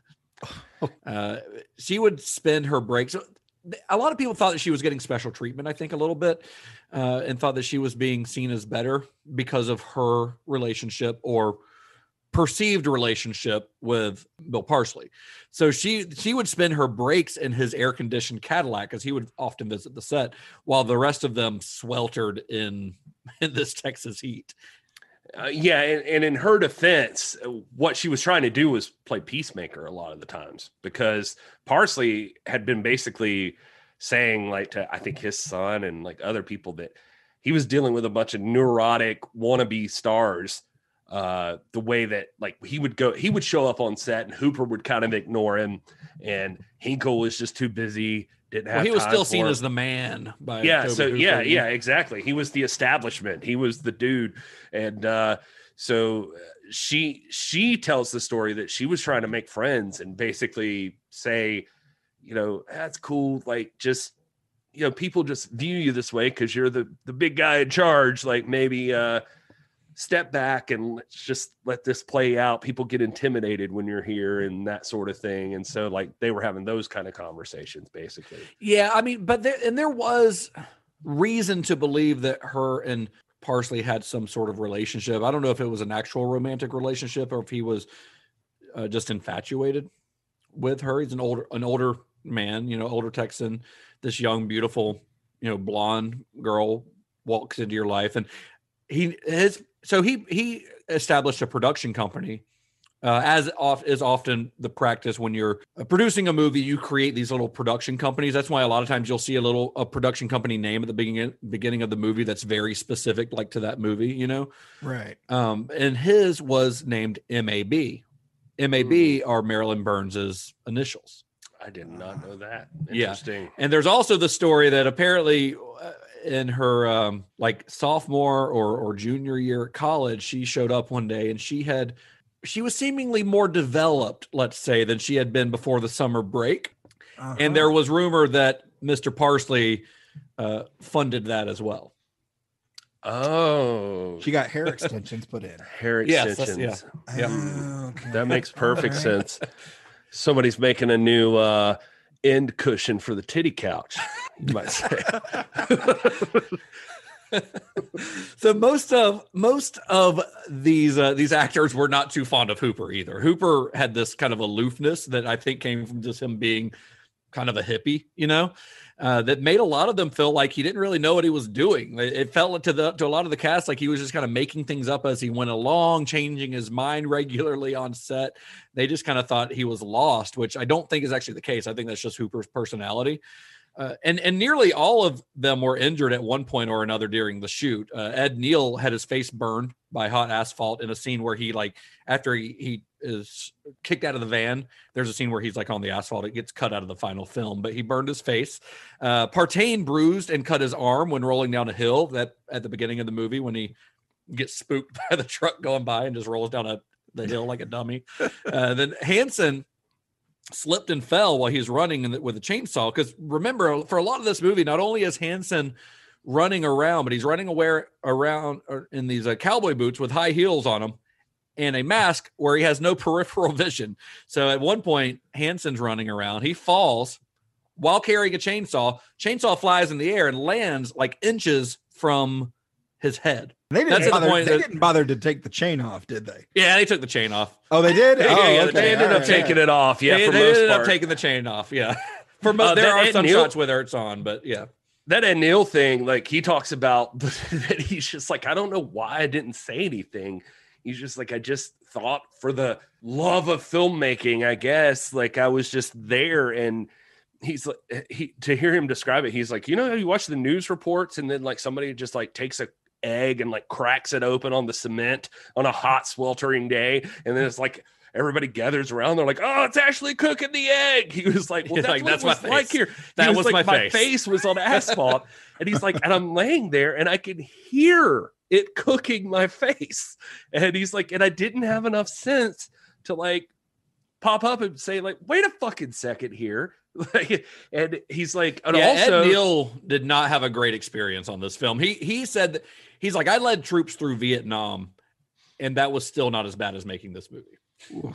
He was he was saying that that the two on the asphalt scene he was like and then like that seemed like my jaw's supposed to be broken. So then they take you know he's like they don't have like oh this is this is art house cinema you know this is indie movie making. We don't have time to make like a prosthetic or make anything like special.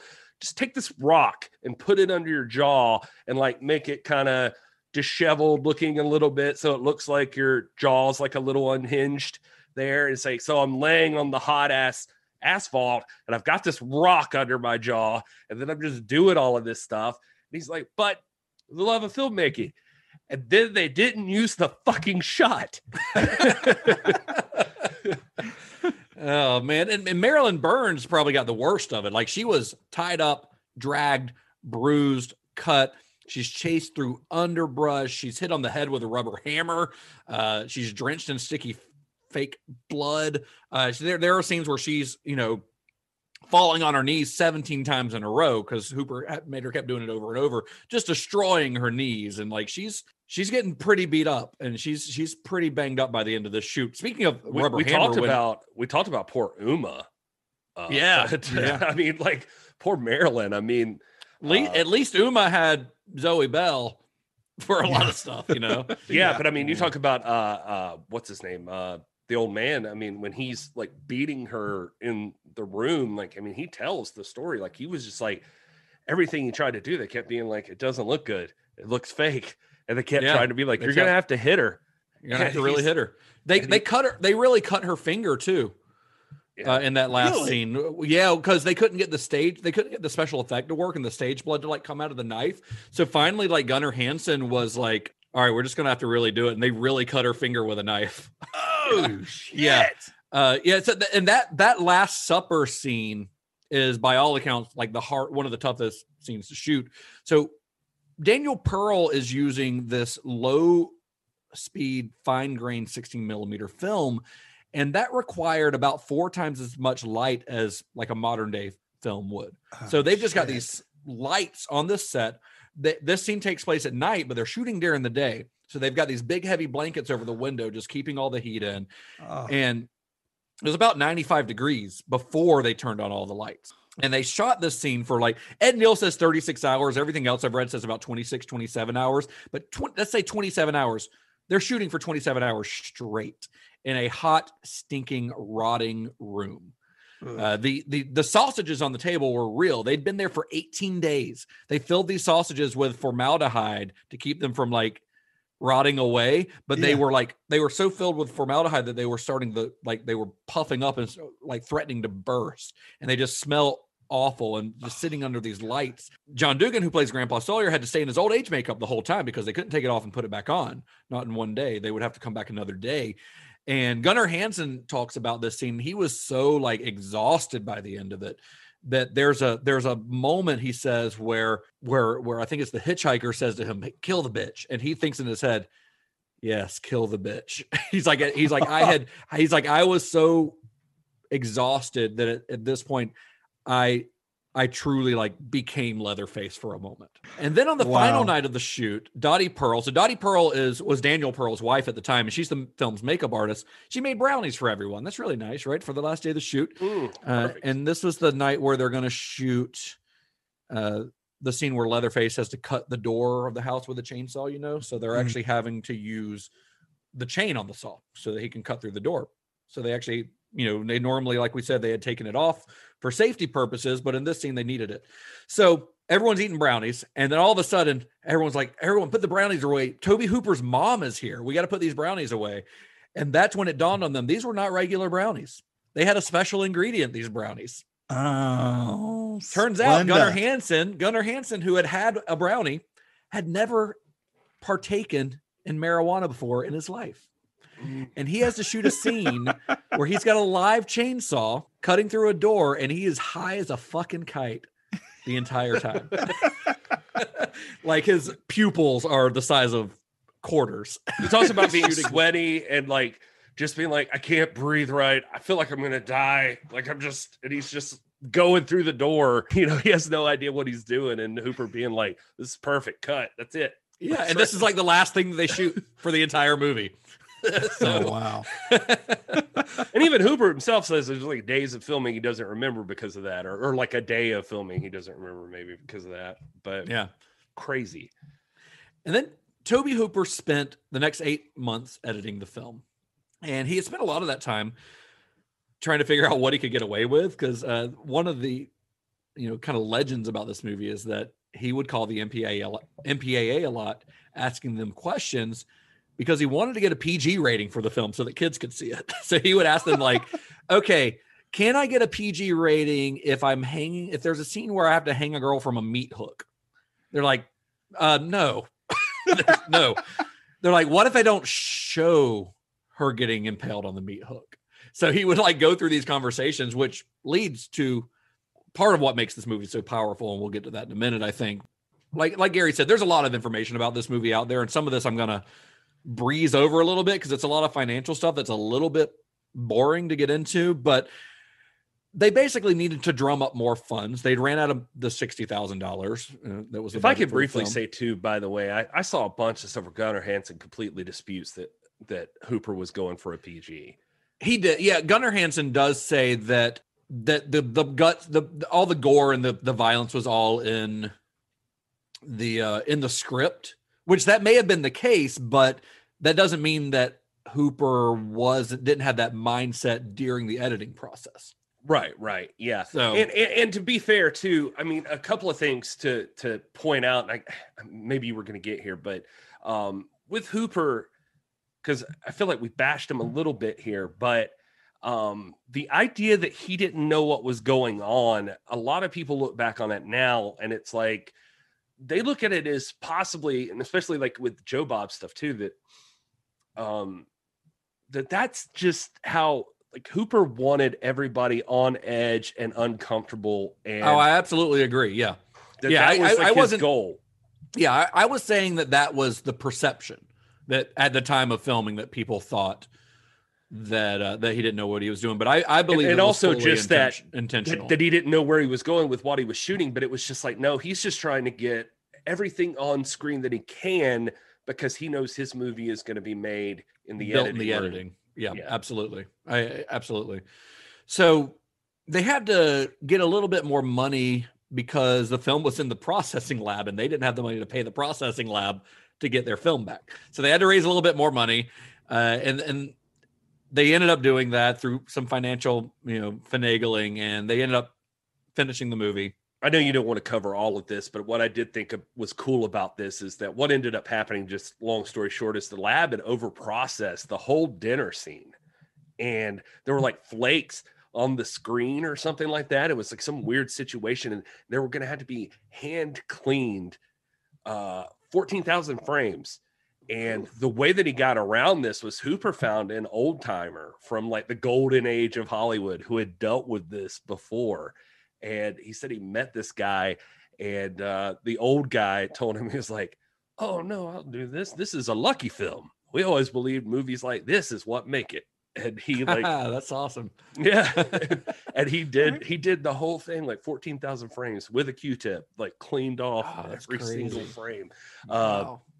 Yeah then they go to the to like like you were saying they they had to have this extra money to get it back and then they go to like parsley uh and parsley was like done with everything and he told them Well, like you said before, he's like, if they don't finish it, he owns 100% of it. And Then he can just take the film and do whatever the fuck he wants with it. right henkel saying he essentially like quote the, the he had us by the short hairs like if we don't Yeah. finish this film then whatever uh and then hopefully i'm not jumping ara- ahead here but but but henkel ends up telling his buddy who's a screenwriter bill wittliff who passed it on to his attorney who's a former member of the antitrust board who then tells his whole poker game his regular weekly poker game and they all invest into a 19% share of vortex the production company. And jesus this story it's just so much. But anyway Yeah. th- their investment which i think they agreed to because because it was like a tax write-off too somehow for them there was some kind of rule in And a place lot, some of them, a lot of the members of that poker game still get royalty checks from this movie. Yeah, and Lonely, I think uh Longley was the the the lawyer. He kind of fudged their share too, even kind of lied to us. Like he had 35%. They really got like 17% or something. because it was because Vortex only owned half the movie. Right, right. So anyway, they called they created a new firm, like you were talking about earlier, like a new production firm. It was called Pitts, which stood for Pie in the Sky, because they were all just kind of like, this isn't gonna do anything anyway. Yeah, but like you said, I mean, in some of the interviews I saw, they were like, "Oh yeah, I got a seven hundred dollar check for this movie the other day." Warren Skaaren then uh, comes to the rescue again and helped the film get a distribution deal with New York-based Bryanston Distributors. It it had been sent to like Paramount actually almost distributed the movie, and then some of the people on the board were like, "Uh, I don't think we want to distribute this kind of movie through Paramount," uh, so they ended up passing on it. But yeah, Bryanston Distributors ended up getting the film. I think they they offered like 225 grand for it, which so Parsley was like, hell yeah, that's you know, I, I've already made all my money and then some off of this. So yeah, sell it. So the film was first shown to an audience in October of 1974. So there is a there's a special screening, like a sneak preview of a movie called The The Taking of Pelham One Two Three. Great movie, by the way, if you haven't seen it. Not the remake with Denzel. I mean, that one's all right too. Isn't Denzel in that the remake and like Chris Pine? Yeah, I think you're right. Yeah, pretty Mhm. solid. But the original one is really outstanding. Anyway, yeah, the original's great. anyway so there's a there's like a special screening of that it's in san francisco there's a lot of local like san francisco politicians at this screening as well and then chainsaw is shown as a previously unannounced second feature. So they watch this movie Pel- taking a pelham one two three and then all of a sudden you get the beginning of the texas chainsaw massacre next. And they are disgusted by what they saw. There are stories that people walked out there are stories that people ran out and puked, you know, after seeing this movie. and of course, because a lot of the members of this audience were local politicians, this got picked up by the press, which created a lot of controversy and practically free publicity for the film. Uh, so, and and I'll be honest, I think that that was completely planned by Bryanston. Knowing what I know about Bryanston distributors, I think that they're they they wanted to drum up controversy around this movie because they knew that it would help the film. Hmm. And it was. It did help the film. The film was a smash hit immediately, largely due to a stellar marketing ca- campaign from from Bryanston. I mean, you guys have seen the iconic original poster for this. It is incredible. That tagline, uh, "Who will be left and what will be left of them." That is a great fucking tagline Yeah, it's a yeah, it's it's really good. Uh, and and just its first four days of release in Texas alone, the film grossed over six hundred thousand dollars. That's not adjusted for inflation. That's six hundred thousand dollars in nineteen seventy four dollars in Wow. Texas alone. Yeah. Nice. Yeah, then the uh, critics Joe Bob is of like adamant that this is the highest grossing film ever made in Texas, like to I this mean- day. That Pro- ma- adjusted for inflation, I bet he's absolutely right. yeah, And then the critics got a hold of the movie and they turned it into a legend. Rex Reed called it the scariest movie I've ever seen, the Jaws of the Midnight movie, which is a pretty amazing quote. Uh, the LA Times, however, called it despicable, ugly, and obscene, a degrading, senseless misuse of film and time. But those bad reviews didn't hurt the movie. like that didn't make people not want to see the movie, you know? And then Bryanston stepped it up another notch by gifting a print of the film to the collection of the Museum of Modern Art in New York. so they sent them a pristine copy of this. you're gonna want then- this.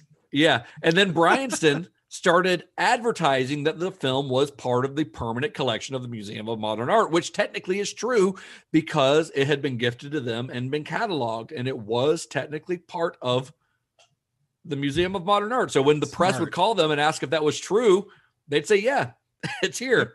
I love uh just the beginning of our boy Roger Ebert's review where he just says like now here's a grisly little item. The Texas Chainsaw Ma- Massacre is as violent and gruesome and blood-soaked as the title promises. A real grand guignol of a move movie. Did I say that right? It's also without any apparent purpose unless the creation of disgust and fright is a purpose. And yet in its own way, the movie is some kind of weird off the wall achievement. I can't imagine why anybody would want to make a movie like this, and yet it's well made, well acted, and all too effective. Yeah, Ebert's review is one of those. We, we've talked about Ebert before and how he kind of like just does not like horror movies, it seems. Yeah, And his review of this movie is like, all right, I don't want to admit that this is a good movie, but it's a good movie. You know, that's kind of his thing. Like, I don't like this kind of movie, but they did a good job making this movie. It's like he doesn't want to admit that it's good. I'd almost rather him just say, I don't like it, you know? I really Yeah. appreciate that at the beginning he also seems to fall into well, we're going to get into this, I'm sure, but uh just just the idea of the violent and gruesome and blood soaked and blah blah blah. Yeah. Which is something we'll hit on in a minute, but even Yeah. even Ebert's uh, susceptible to this idea. Mhm. And, and and a lot of people, like intellectuals, were kind of pissed off about the whole uh, the MoMA thing, you know. And there was a, especially this one guy, this guy named Stephen Koch, who was he was a friend of Andy Warhol's. Uh, he had written about the Texas Chainsaw Massacre in Harper's, and this, I'm going to read this quote from him. But he says about the film, he says, "It is a film with literally nothing to recommend it." Nothing but a hysterically paced, slapdash, imbecile concoction of cannibalism, voodoo, astrology, sundry hippie esque cults, and unrelenting sadistic violence as extreme and hideous as a complete lack of imagination can possibly make it. We are here discussing something close to the absolute degradation of the artistic imagination. André Breton said, the simplest surrealist act would be to take a revolver into a crowded street and fire at random. They seem to have read Breton down in Texas. That sounds a lot like um, you know these these modern day internet reviewers who like to use a lot of big words and sound smart when they don't like a horror movie or or, or an exploitation movie. You know, the you, have you ever read any of these types of reviews, Gary? Well, it's so weird. Like I almost feel like I don't have to have because apparently back in 1974 there were plenty of people that had been working all night writing movie reviews. But uh, yeah, even in this day and age, somebody needs a nap.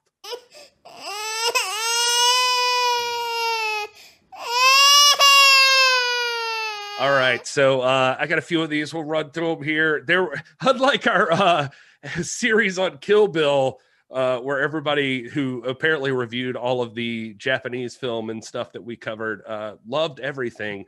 Uh, not everybody loves Texas Chainsaw Massacre, so there were plenty of fun ones. I tried to pick a few here. Uh, this is from Miami says, I'm a huge horror fan, and as such, I feel very strange that this movie is so revered and well oiled because, other than being one of the first slasher movies, I can't find anything remotely redeemable about this film. The first half is so boring that I had to force myself to pay attention, and the second half is a noise filled, annoying mess.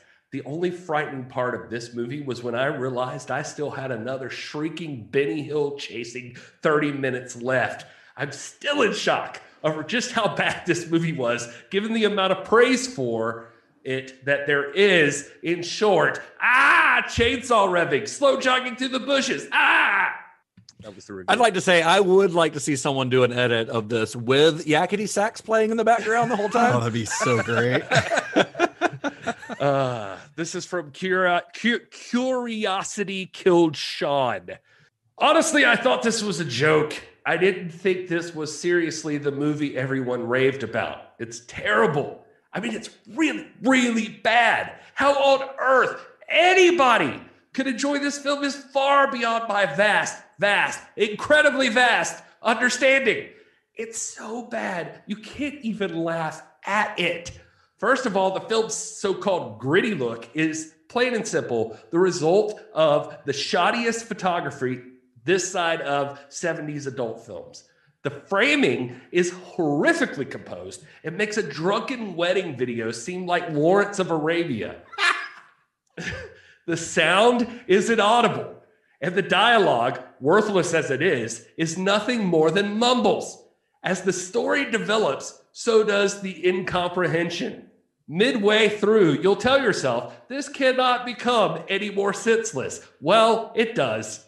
By the end, you'll be completely lost, and then it's just over. Just like that. I was assuming there was half an hour left, but it just ends without resolving anything or giving us a payoff. What a ripoff. There is zero suspense. Characters are killed almost right away, leaving no room for excitement. Plus, there is only one massacre with a chainsaw, and you don't even see anything, and it mostly occurs off camera. The final chase with the one character that actually gets some interaction with the bad guy is obviously the best bit of the movie, but by this point, I just wanted it to be over. I have no idea why so many people say this is a great movie or call it horror with a dark comic edge. It's nothing of the sort. It's an embarrassingly amateur schlock fest that Ed Wood himself would disown. Woo! Check out the 2003 remake, which is a zillion times the movie this dreadful nonsense is. do not you. come with do not come within a mile of this. You have been warned. TCM is the worst film I've ever seen. It drags on for ages, and to say it's boring, I hate this film. I prefer two and three to this, and I hate those films too. Not recommended. But I would recommend the remakes because they are better and scarier. So, in my opinion, this is the worst film of all time. No joke. The worst film of all time. That's what this guy says. oh man, that was that was Oh, a lot. Oh, I always wish I did. That guy's angry. That guy needs a nap. he does. Anyway, those are some people that were really hurt by this film. Well, those people, um, I mean, need to get over themselves because uh, this movie is considered a classic, but it, it's considered a classic now. But it was a major success when it came out. This movie was huge. Uh, it, it continued to play in drive-ins and midnight movie houses for years, grossing upwards of uh, reportedly you see 30 to 50 million dollars uh, as, as what this movie has grossed, which in today's dollars would be 265 million dollars for a movie that cost 60 grand. So everybody got rich. Everybody's yeah, famous. of course. Of course. That's what you eh, right. Everyone got just super rich and they're all famous actors now and incredibly successful. Right? Right. That's how this that's how the story That's goes. how the right? story ends. Yeah. Well, no, it turns out that a lot of the actors and crew members had waived their salaries in exchange for a percentage of the movie. Uh, but as deals were made to get the film financed, some of the stuff that Gary went over earlier, like the poker game and things like that, uh, then those percentages went down. So, like, you know, when they signed these deals, okay, they're getting a percentage of the grosses, right? But they're what they what they may or may not have known, and it's a lot of this blame ha- was put on Tobe Hooper at the time, but it, o- over the years, it seems pretty clear that he might not have really understood what all was happening. Uh, he's not an accountant; he's an artist. Maybe if he stayed, maybe if he'd stayed in film school, he might have. Well, I- some of the they don't teach that in film school. Todd. I'm, I'm just Todd bringing the truth. Just a theory. just a theory. But so you know, if they're getting, let's say they're getting a a small percent. Let's say they're getting of a 0.5 percent. That's kind of a normal. They're getting points on the film. Well, when they made that deal with Bill Parsley, he owned 50% of the film. So if they're getting a 0.5%, they're really only getting 0.25 because they're getting 0.5 of Vortex's share. Not only that, but once they start selling off shares to like these guys in the poker uh, game and, and various other guys, they're all getting partial ownership of the Vortex side. So that those points for the actors and the crew members are just going down and down and down. So after nine months, uh, Ed Neal says it. So they're like, yeah, we're waiting on money. We call up Tobe Hooper. We're not getting any answers. And after nine months, I finally get a check and it's $28. And Gunnar Hansen tells the same story. He says hmm. $47, but you know, it's, well, it is crazy because they're, they're seeing they're seeing exactly what the rest of the world's seeing or what we're talking about here where this movie starts blowing up this movie making a lot of money. a thing so they're like holy shit Yeah. we've done it like this this did become the movie like this did get released and uh, uh, what's her name teri mcminn we mentioned earlier she even tells the story about picking up a hitchhiker randomly with her girlfriend and uh, She should have learned from the movie to not. yeah, that. you would think. But she says they pick up the hitchhiker, and uh, the guy says, like in the car, she she tells the story that like the guy's like, "Thanks so much for picking me up. I can't believe you guys did it. You would never believe the fucking movie I saw the other night." and he was like, eh, "The hitchhiker there was a fucking nut job. I thought this ruined it for me." And, he he said, or she says that she was just like, "You just saw this the other night." Do you recognize me? And he's like, oh, holy shit. just like. Like so they all thought, I think they all figured they were about to be superstars.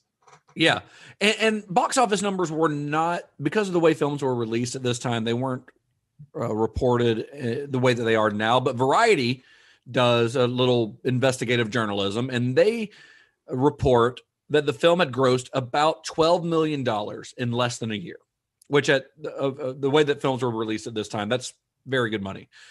But Bryanston, the distributors, their statements show that the movie only made about a million dollars. So how's this possible? Hmm. Well, turns out that the heads of Bryanston were two brothers named Lou and Joe Peraino, and they were members of the Colombo crime family.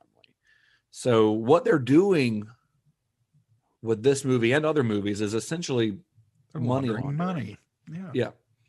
and they'd gotten into the film business by ex- by extorting the rights of Deep Throat from its director Gerard Damiano. And we and we all know how you know, that was. I mean, we haven't talked about it here on the show, but Deep Throat was a major pop cultural moment and a major financial success. Maybe on Patreon if you want to have a lot of fun. It's me and Todd and Justin talking about, talking deep, about throat. Deep Throat. live commentary.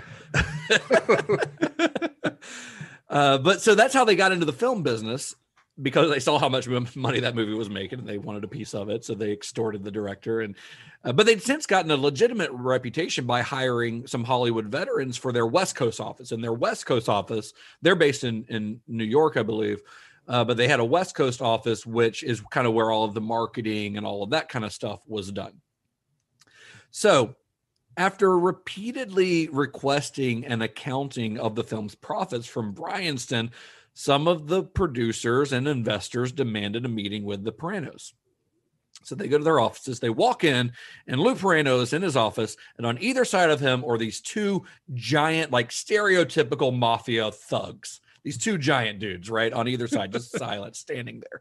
The producers are like, We're going to audit the books. To which Peraino replied, you ain't gonna audit these books. you're not going to audit the books.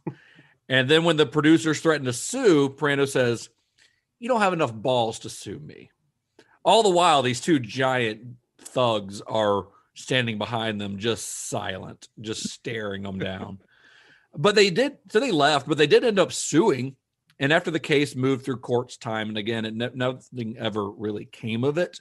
Uh, mostly because Bryanston had financed a lot of other movies that made no money or lost a lot of money. So they actually ended up going bankrupt. And then in 1976, the Peraino brothers just vanished. Whoa. They're gone. And they just they just disappear. Yeah. So the hard part here is just to to to clarify is for a guy like Hooper, um, people are looking to him. People are looking to him for the money. People are wondering like, what's up with, you know, hey, this this movie's pretty successful. I, I'm owed a lot of money, and so uh, Tobe, uh, like Justin said, probably didn't have any idea what was going on. I, I would guess. Like he was not. He was just trying to make his fucking movie. Shit, he's not making any money off of it either. Yeah, yeah, and he's not making any money, so he doesn't know exactly what's happening. But people are hounding him because he's the he's the director. So like he's he's the guy up here. And uh, for what it's worth, I mean, from everything I can account for, I mean, he's in his part kind of ducking it all too. Like, because probably because he's scared, doesn't know what's happening, just kind of avoiding it. I'm just like, I, I have no idea what's going on. So he doesn't want to take calls. He doesn't want to meet with people. He doesn't want to see any of these folks. So it becomes a really weird uh situation, I guess. I Well, it how else to also, and and we'll get into where his career went after this, but it also didn't help matters that he sort of immediately booked it to Hollywood because he's still he's still getting artistic recognition for this, and they felt like he ran off to Hollywood and just kind of abandoned them. But Yeah. what what this all ultimately means is that hardly anyone involved in the making of this movie made any money off of it, and a lot of the cast, you know, they didn't think at the time that they were making anything of artistic merit either at the, at the time. But when you watch this movie now, I think that it's clear that there were some there's a true artistic vision to this. Like despite what we we alluded to this earlier, but despite what the cast and many of the crew may have thought during filming, Tobe Hooper had a vision. He knew what he was doing. And I do think like Gary said, I do think the chaotic elements of the shoot contributed to the feeling that you get from the film. And honestly, I think a lot of that was purposely orchestrated by Tobe Hooper. I think he knew exactly what he was doing, and and that's the that's the beauty part of this film. I mean, a lot of the the things. I mean, uh, we kind of alluded to it with even the Ebert review, but one of the magical things about this movie, for better or worse, is that what you think you saw, you didn't really see, Yeah. and uh, and I think that's pretty brilliant. Um, Well, I think that also honestly contributes to the power of the film because you know, it's the old saying that what you can imagine is worse than what you could be shown. So you're you're kind of imagining what's going on and it, I think psychologically it actually messes with the audience by not seeing the details of the deaths, especially like in the in the meat hook scene. I guess is the most famous one, but the way he shoots that, you know, you see her get lifted, you see her go down, but you don't see it, the meat hook impale her back, and then the camera shows the bucket. You don't even see blood like dripping into the bucket. You just see the bucket, and you know what it's there for. Uh, that's sort of brilliant. Yeah, I was listening to a few podcasts, like trying to just go through and see what any modern podcasts had done, and there were like arguments, like on a, a couple of the podcasts I heard, where they're like, "Well, the meat hook, hook scene is kind of gory, like it, blah blah blah," and like one person will be like, "No, it's not. Like there's there's not anything there." And they're like, "No, well, I remember like just the blood's like coming down and stuff." Like they're like, "No, there's there's no blood." So, G- Gary, before we get into it, though, I'm listening to you, you know, talk about the kind of artistic merit of the film, and uh, Todd's making faces. I'm, I'm worried that he doesn't agree with us about the film's artistic merit.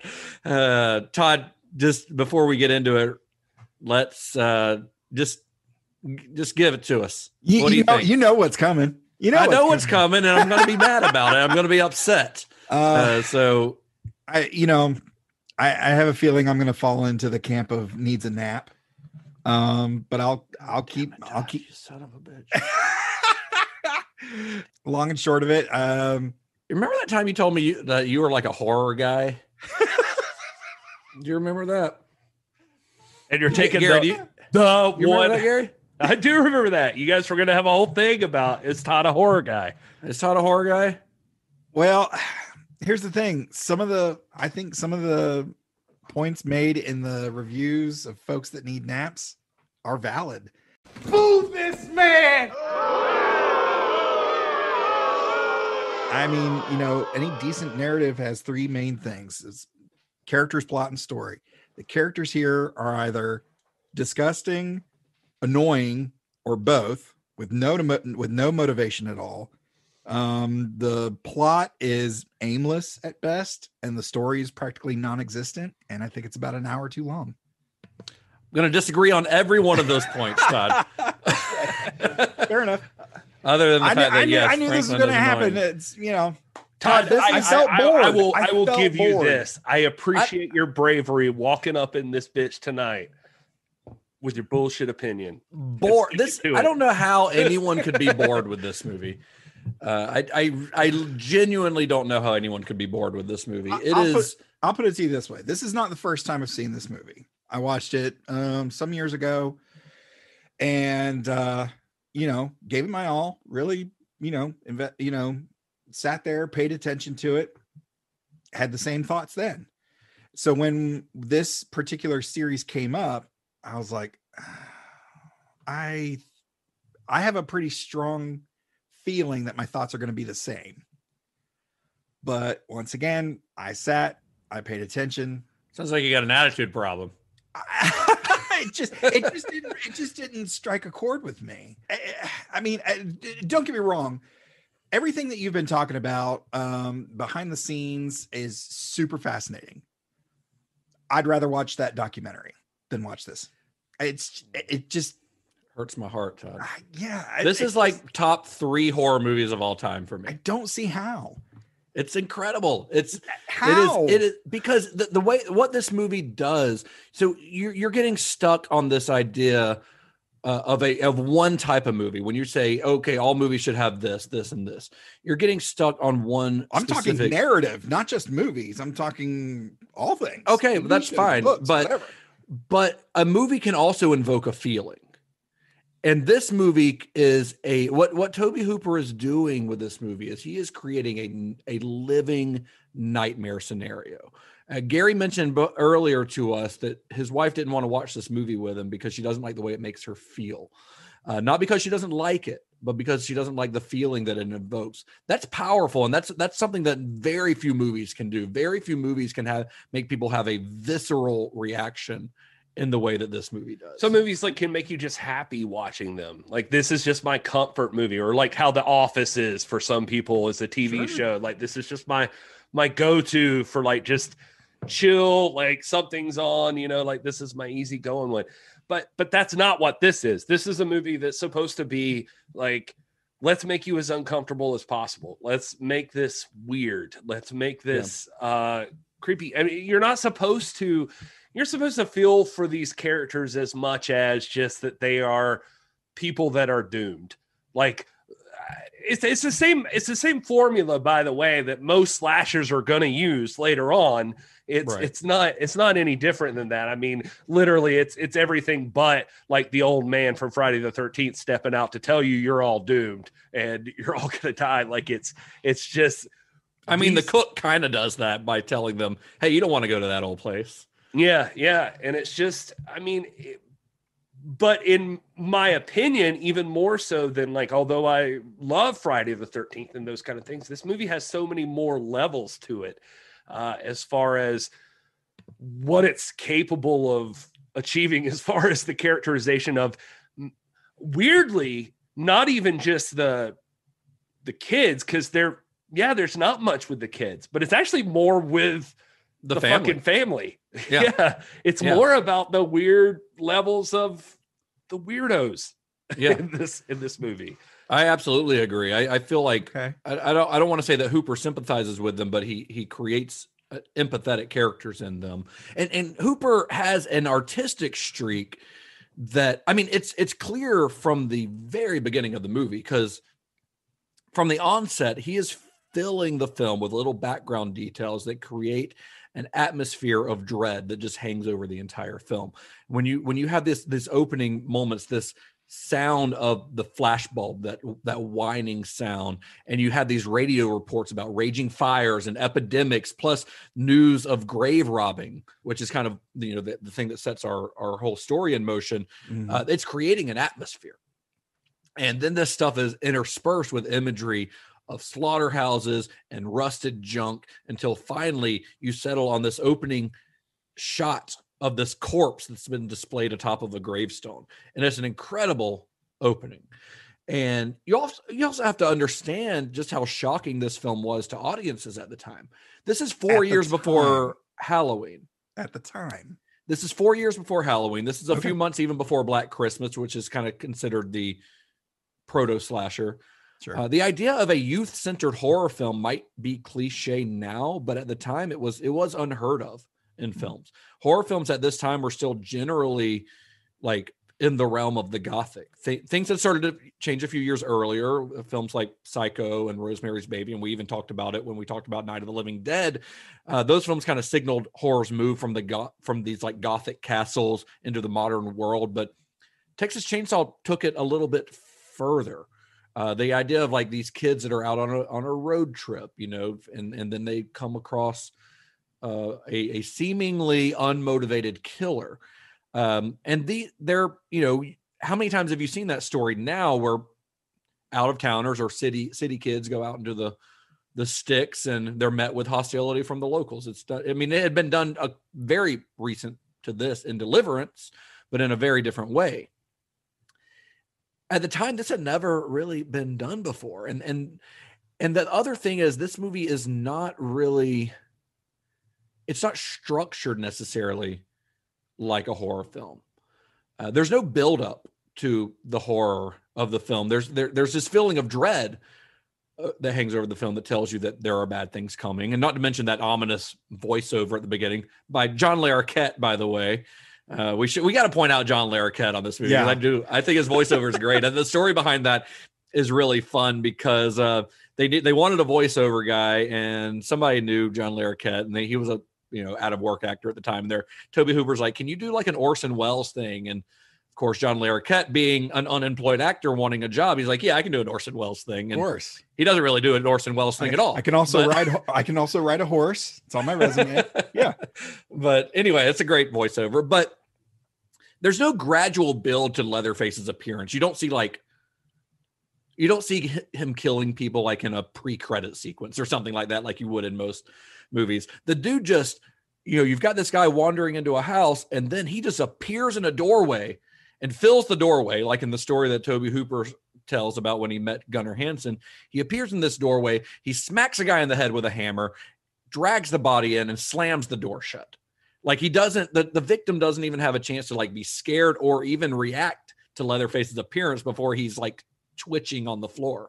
And it's it's an, one of the best, I think, introductions to a a horror movie villain of all time. And the fact that it is completely out of nowhere. Like you yes, you you know something's coming, but it's not like a jump scare. He just walks out casually like it's his job and just wails this dude in the head with a hammer. Yeah, And- um, I, I would say that that you know, uh, going back to a thing I, I kind of brought up last time, just uh, the fun part. I, I, I was curious, like uh, best scenes in the movie or whatever. You know, I mentioned that last week. Um, that would have been mine for this one. Although I feel like for most people, the dinner scene is probably going to win that. Um, I'm a big fan of the dolly it- shot, the dolly shot that goes under the swing, uh, the following the, them up to the house. Not just because it's yeah, a good shot, shot of her butt, but because Right. it's a great, it's a great shot. it's It the really image is. like every site you'll go to yeah, uses because because it shows this looming giant house, and he's using like this blue sky of the Texas, which is normally like what you would consider a beautiful sight. He uses it in multiple scenes, but most memorably in that one as kind of a backdrop of horror. You know. Yeah, uh, but for me, the the exact scene you're talking about, where dude's stumbling into the house, just like you don't belong there. What are you doing there? And like at that time, I mean, one of the important things is, is like I don't think people realize like the dangers that. I mean, I guess like people thought about that stuff, but it wasn't like as prescient as it is Well, now. people like you're scared of hitchhikers, and- yeah. yeah.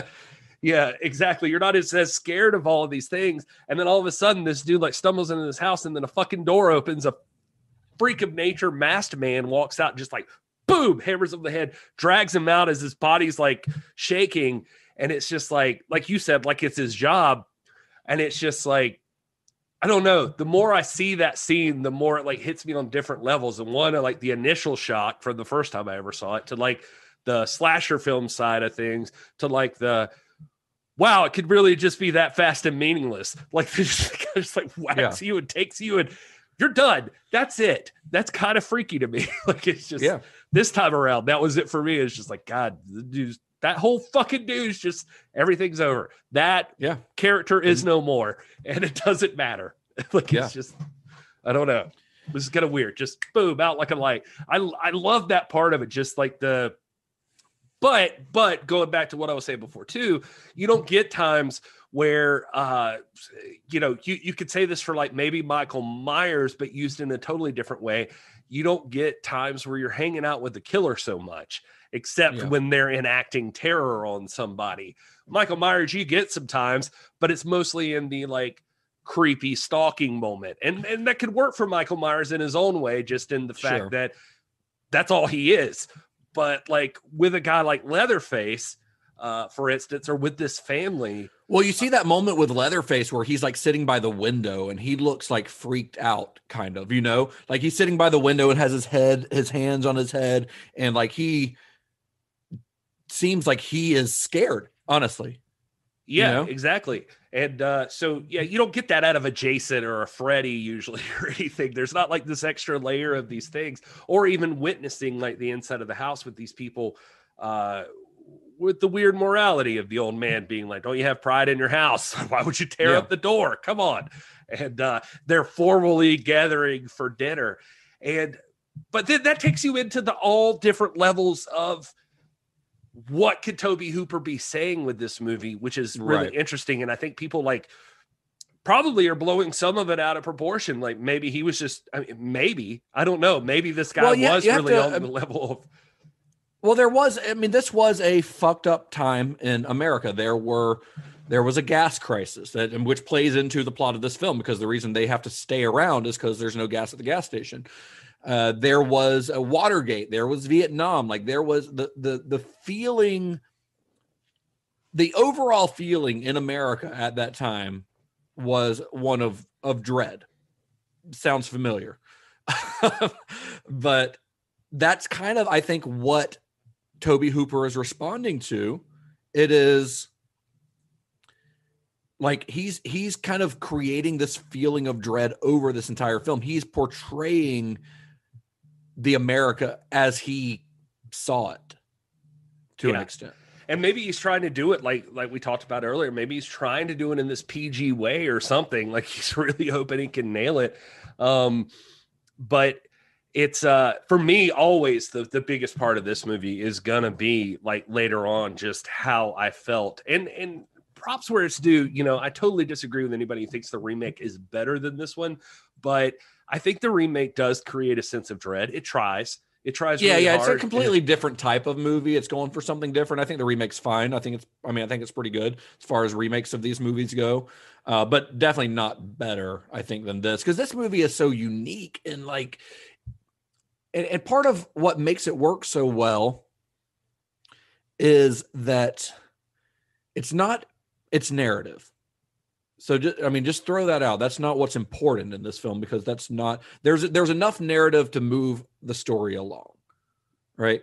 So I, I know that's something that Todd that you mentioned, but that's not what they're trying to do here. In, in a sense, like when you talk about art house movies, I mean, in a sense, that's what he's doing here too. He's more focused on the the feeling than he Yeah. is an actual like broad story or anything. like. Exactly. It, so I, I think what really sticks with you in this movie is that feeling and these hallucinatory visuals that are created by, uh, by Daniel Pearl, uh, who's doing, I think, incredible work, and the editing, which is incredible in this movie. The editing in this movie, like it is, movie's what eighty minutes long, and I think there's eight hundred and something cuts in the entire film. Like it's, it's edited like immaculately. I mean, He he was prescient enough. To, he he fucking saw the Blair Witch before the Blair Witch was a thing. Like he he he got exactly what he was looking for in that based on a true story, documentary style with the John Larroquette narration at the beginning. Mm-hmm. Like just the way it's shot, the edits, the cuts. It's not like shaky cam or anything like that, but it's like Not uh, at all. Yeah. it- I mean, there are dolly shots in it, yeah, but it which they had to do, by the way. They only had like 14 feet of dolly, so they would have to like roll the camera on the dolly, and then crew members would take back pieces of the dolly and run up and at them so that they can get those longer dolly shots. Yeah, but there were people. uh For me, the most powerful thing of this movie always is going to be that feeling, like what it should invoke, like what. And I know, I, I guess Todd, you didn't get it, but like, uh and I don't mean that in a negative way. I just mean like, I guess you didn't feel the same way I did. But for some reason, this movie always, for me, just feels like, I don't know, like like, a I can fucking nightmare. watch Friday it feels like a- 13th, and I'm like, this is a fun movie. Like Friday Right. 13th movies are fun. And uh, with Texas Chainsaw Massacre, it's never like a feel good slasher movie. It's just like uh, this is miserable. Like these, It's dark and fucked. unrelentingly bleak, and I, I think the visuals are a big part of that. I think the sound design is a huge part of that. There's no score to this movie. It's just yeah, no actual music. the just sound design though is it is and that fucking weird and- sound that uh, I forget who made it now, but like he took it to his grave. I don't think anybody knows how to make that sound exactly. that whining sound. Yeah, it's Yeah. just a sound they just reuse. That wing. Yeah. uh, it's just uh it's it's it's weird. I I I think one of the legacies of it is going to be how it's supposed to make you feel and Yeah.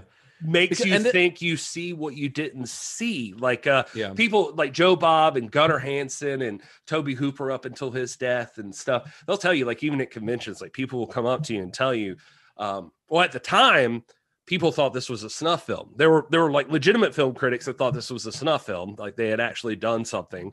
Yeah. And uh But there would be people who would claim like, "Oh, I have relatives who know who the real Leatherface." Is, yeah, no, it's based yeah. on a true story. Yeah, leather that Leatherface is in this New Jersey prison, like up Right. where I'm from. like he's there. They would tell you these stories about the real Leatherface, and then people would be like, "I don't like this movie. It's too gory. Like, ah, it's too much." And there's for no me." gore.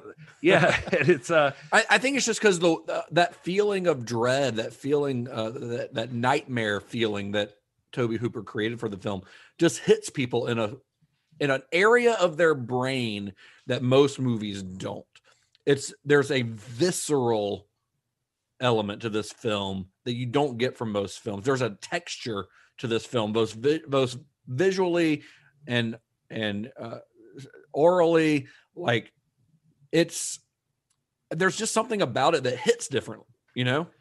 there was a uh, Todd, and I'm sorry, I feel like I'm like walking all over you here too, but I uh, don't feel like there's really anything I can say that you guys are going to shoot down. So I mean, well, hey, you're you're part of the conversation. You're you know, we'll give you we'll give you a clearly you're us- not alone. There were people on IMDb and Amazon who agreed, but uh, you know, Guillermo del Toro cites this movie as one of the reasons he went like vegetarian, which feels Yep. extreme for me. Like I, I still like a burger, but Well, Tobe Tobe Hooper went vegetarian while making the movie. oh really? Yeah, uh, he did. Probably maybe because he was hanging out with rotting meat all day. Uh, Nicholas Winding Refn, the director of Drive, has also said this is the this movie is the reason he makes movies. I was gonna, interestingly enough, Justin, unplanned. I was about to say I have a quote here from Nicholas Winding Refn, and uh, he says, "When I was 14, I saw the Texas Chainsaw Massacre. I saw that film was an art form, meaning that I saw subliminal images." That's when I realized the power of art. It's not what you see, it's what you think you see. That's when it penetrates the audience. That's when it goes deep on the surface you watch like a brain and you understand but with the subliminal images or the thought of subliminal images that's when it's penetrated and the art has taken your body I love that. he says penetrate a lot. I love I love that I love that too. I love that too. I'm not sure that that applies to this movie, but okay. Let- hey, okay, guys, if okay, let me just let me just ask. Refn. So they so they pull up to a gas station and they're having trouble getting gas. They're not able to get the gas, whatever. The house they're going to is like 100 yards away. What's your And then the and then the next house What- what- so I'm struggling to because I mean she runs there with no problem at all. Like, but they're making this gas thing to be, and again, I'm not sure why they're going to the house. It's burned out. Like they're going to the house old, because their there to family's old house. things. Yeah, to do and there's and then there's a gas generator there, so they're Franklin going just- looking for gas. no, the Franklin gas just gen- really the gas wants- generator's at another house. Is that Yeah. the is at the family's house. Well, that's Is true. at By the way, I think that's Oh, super yeah, I creepy thought that's the you house you think meant this movie's about, called. Texas Chainsaw Massacre, and the generator kind of sounds like a chainsaw. So I always like that eerie feeling of that too. But besides that, no, they're going to the house because they need to refill for them to make the rest of the trek to where they're going, but they don't know that they'll have enough gas to get there. refill on, It's uh, on gas. on At gas. the house that's burned out. No, the gas station is about 100 yards away from the house they're going to, like you just said. Okay. So the guy tells them, We don't have any gas right now. So you can't get gas. The gas truck is going to be here later on. Mhm. And so they're like, While we're waiting, let's go down here to this other house. This is our old family house. Okay, because I thought that's where they were headed in the first place. No, they were going to the grave site of the grandfather, which they go to at the Yeah. beginning. Yeah. Like, okay. because All they're they're all right. trying because there's reports of grave robbing and they're going to see if grandpa's grave has been desecrated Okay. All right. and then they get okay, to the gas station. They're making now. their way back. They're trying to get back, and they're like, "We don't have enough gas to get there." So they're at the gas station, and the guy's like, "There's no gas right now. There should be a gas truck coming through, so you just have to wait. You want some barbecue? Blah blah blah." All Um, right. All it out, and there Franklin's like, "Oh well, our old house is up this way." anyway, he's like, "Old house is up this way. Come on, let's go up here." You know that gas station is an actual barbecue restaurant now Now Really? it is. It's awesome. yeah and the house the farmhouse got moved it's not there anymore but it's a restaurant too so you can go you can go have dinner in the in the Sally, Sally. well let, us take so the finale of this film and this is part of what I, I think makes this a special film and gary has uh, kind of discussed this a little bit but the finale of this film where sally sits she's been taken hostage or taken she's been captured she sits this sort this sort of fucked up version of the alice in wonderland tea party uh, Right, because and this and there there actually is sort of an, a lot of parallels with Alice in Wonderland if you think about it. Like she is, uh, you know, this outsider who is in this nightmare world, and then yeah, this is her version of the Mad Tea Party. Uh, I think it's one of the most disturbing scenes in a horror movie. The family looks like some sort of like parody of a typical family sitcom. You've got the cook in the role of like the father figure. You've got Leatherface in a wig as the mom. Uh, we don't know what happens to the actual mom. And then the hitchhiker is like kind of the teenage son who's acting out all the time, you know. Mm-hmm. And then of course you've got Grandpa who uh, is like I think he's supposed to be like 108 years old in this. We think he's dead until he starts sucking on that finger. Or something. Yeah, and he uh, and he can barely hold this hammer that he used to use as a tool to kill cattle, right? And and the family, that family is what makes this so interesting uh, to me because they are sympathetic in a way that's rare in a horror film for a horror villain. Uh, Leatherface is yes, he's terrifying, but he's also clearly mentally handicapped and seems to be bullied by his two older brothers. He seems to be scared of them. Like they they are kind of fussing at him about cooking dinner in that scene. And th- the family themselves are also kind of relatable. Like the, these are country folk who've been abandoned by the modern world. They've lost their job to automation. And that's another part of, I think, what Tobe Hooper is trying to say with the film is that it's this encroachment of technology taking people's livelihoods away. People are being left behind, which is, again, still a modern concern among a lot of people, especially in rural areas. We've seen a lot of strife uh, in recent years that has been spawned from that very feeling. Not to And- mention that both these guys, especially Henkel, like I said, he found it easier to be a redneck than a hippie, but yet Yeah. they still ended up making their counterculture movie, like with the old folks, like the the old white. I mean, I've seen the reviews go so far as you know the old white patriarchy, you know, like that they were attacking this even at this time, like just Yeah. these people that think their old ways are better, and then they're just stuck in these the way they are, you know, Yeah. and that they're really There's the- also the fact that Texans don't want people coming on their property. Yeah, there you go. So that's another uh What's true? I mean, it's it's it's still a weird thing. I still like. There's a part of me that feels a little bit for Leatherface. I mean, I don't think you should just randomly kill people, but at the same yeah, time, I'm like, I mean, listen, here's the thing though. If I'm at home and somebody you're just like wander- sitting around watching TV or if jerking off on the hanging out, internet, and you're like, somebody wanders into my house, I might I might hit them with a hammer. you know, if, if if somebody I don't know just wanders into my house randomly, uh, yeah, I'm going to get a little aggressive. he's a I'm not as- simpler man, and these are simpler times. this is. He's like, why the fuck do people keep walking in my goddamn house? Yeah, Come on, man. and then the final scene. I'm just I mean, trying to make a titty couch over It- here, and you just fucking stroll in my living room. If you and if you think about the the way that this movie does influence later slasher films this is you know like i said i mentioned earlier this is kind of the first masked i'm, I'm sorry this is the first youth oriented horror movie Mhm. where the teenagers are the victims you know Yeah. it's also the first american horror film with a masked killer uh some there was some giallo stuff that was out before this uh, so you can see that is part of that dna as well but this is the reason movies like th- this is the reason that jason and michael myers wear masks. Mm. uh, sally is the the very first final girl. Like that that final scene where it's a it's a she's the only one left and leatherface is chasing her through the woods which is an, a great chase sequence. And i think uh, i think joe bob even said it. I think marilyn burns is one of the best screamers in horror movie history. Uh, she does nothing but scream for the last 20 minutes of this movie and it becomes like that sound of the chainsaw like just this droning sound that i again i think is fully intentional on hooper's part to make it so uh, Annoying. pronounced. Oh, shut up todd well, it's at a, at a point you're like, all right. I mean, I get it. She's terrified, but it's just. Oh, I mean, Did your I- wife watch this one? Clearly, this was not meant for me. Did your because you're wife not a watch horror it? guy Oh God. Did Kat watch it? She did. What'd she think? She um, I she I, I think she would agree with me.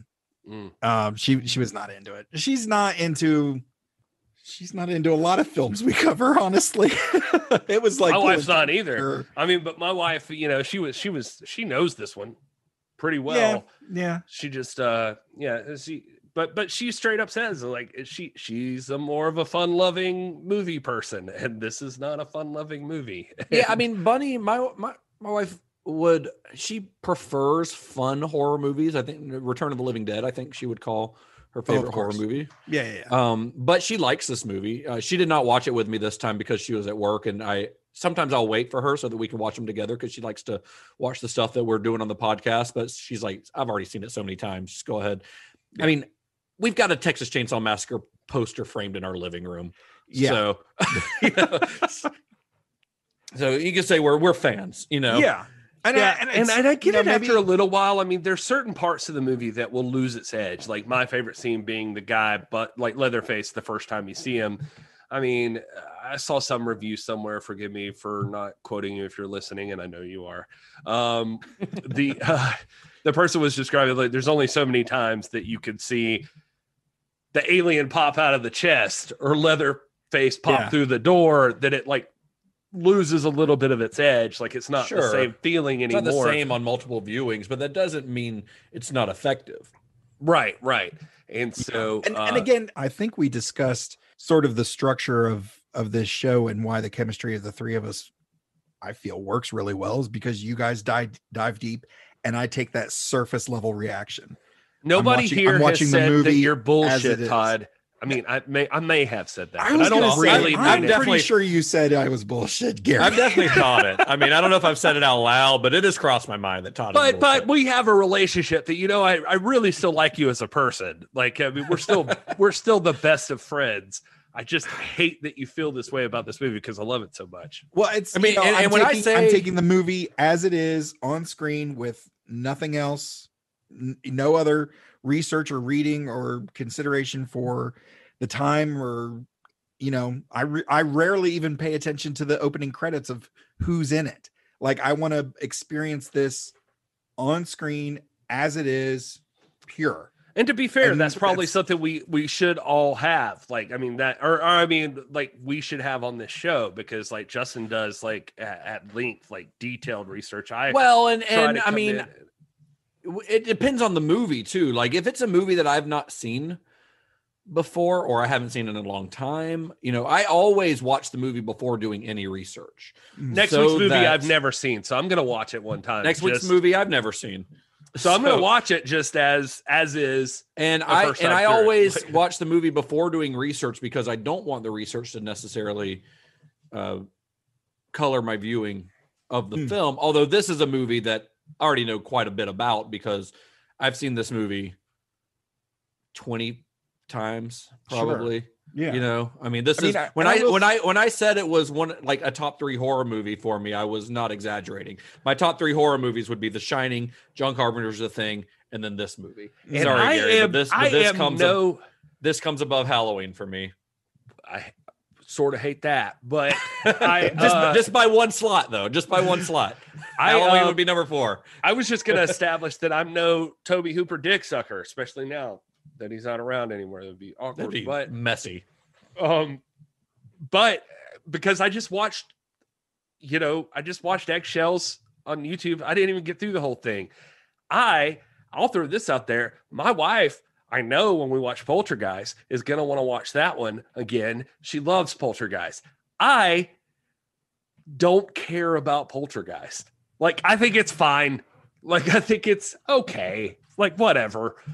But I never, I've never thought it was a great movie. So I guess I'm just establishing up front that we'll probably run into these things throughout. Well, this is going to be, I think, Texas lot Chainsaw like. is legitimately like one of the best movies. Like, I think this is going to be similar to what when we discussed Romero, where there are going to be some gems that we maybe have not seen before, and there are going to be others that we watch and we're like, "All right, Monkey Shines wasn't great." But th- that's the journey that we're taking with this filmmaker series, and that's why we do this because it's fun. I think to mm-hmm. see the evolution of a filmmaker and to see, you know, by di- diving into their career to see what may have caused that. Like Monkey Shines was not great, not necessarily because of Romero's, because you know it was a studio film and he had his hands tied in a lot of aspects. But uh, and and we'll see some very interesting developments in Tobe Hooper's career as we go forward, of course. Well, based on Uh, based on what the information that you've given, like I said, it makes me want to go watch documentaries about the making of this movie. It makes me want to, you know, it makes me excited for the rest of this series, hearing Yeah. you know what he went through and all the I think- all the different twists and turns of the pro of the production and the behind the scenes. I think the important I'm thing down. to take away about Tobe Hooper from the production of this movie is that one, we know that his original intention was not to be a horror f- filmmaker, even though he loved horror movies as a kid, loved horror movies, loved horror comics, big horror fan.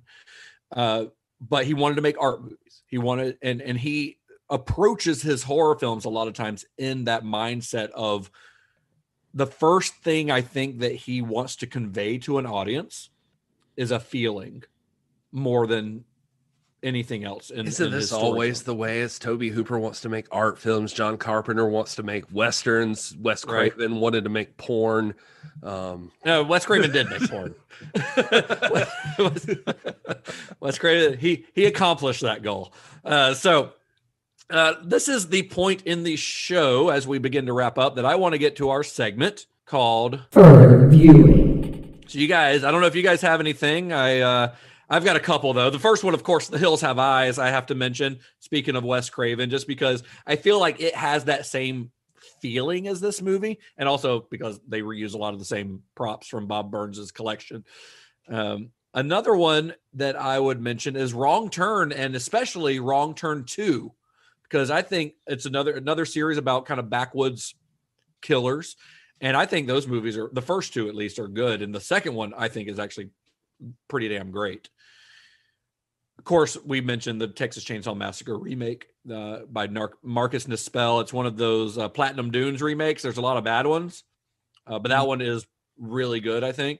Me and Gary will argue about the Friday the Thirteenth remake, and then you can't talk about Texas Chainsaw and talk about other movies that maybe would would pair well with it without mentioning House of a Thousand Corpses. straight off the uh, uh, Texas it Chainsaw is- Massacre. Oh, it is absolutely. I mean, and and you know, I mentioned that this movie's got some parallels with Alice in Wonderland. Rob Zombie found those parallels and he fucking ran with them. in Tales of a Thousand Corpses. It's about a fucked up family, uh, and it hell, it even stars a guy who will get really get his start in the horror business thanks to Tobe Hooper a few years down the line. Mister, uh, 100%. and there's even a musical number in House of Thousand Corpses. yeah, it's fucking wild. Uh, I happen to really like House of a Thousand Corpses. I know a lot of people are hit or miss on Rob Zombie, and I, hell, I'm hit or miss on Rob Zombie, but I I like House of a Thousand Corpses. I love Devil's Ah. Rejects. We'll we'll have to do Rob Zombie someday because I think I'm only hit with him for the most part. So, I'm uh, mo- I am mostly hit with him. Yeah, but uh, Ha- Halloween is probably my least favorite of his. yeah, well, and there's that argument that that you know there's a whole Well- this is this isn't about that. Uh, Do the you guys have any further viewing though? I was going to say the only other fur- further viewing is I would say like you could have some fun if you're curious. Uh, obviously, we're going to hit on Texas Chainsaw 2 at some point, so uh, we're that that's obviously a recommendation. And I, I would say Texas Chainsaw Massacre: The Next Generation. I know that sounds crazy, but I just Is that the Matthew McConaughey one? it is, and Renee Zellweger, and it's it's unfairly maligned. I think actually that movie I just watched it in October, and it's pretty fun. Like it's it's not as bad as you're led to believe. Like everybody treats it like this. Can you believe Renee Zellweger and Matthew McConaughey were in this awful bullshit horror movie? And if you go back and watch it now, it's like it's it's all right. Like it's especially compared to a lot of the bullshit that comes out these days. So Yeah, yeah. Uh, I don't know. Since Todd didn't like this movie, I don't know that he would have any further viewing. Um, further viewing, I He's like, rec- any, just watch anything else. I was, Any- I was literally going to say I would recommend anything else. Uh, Boo this man! Watch what we're going to watch next week. How about that?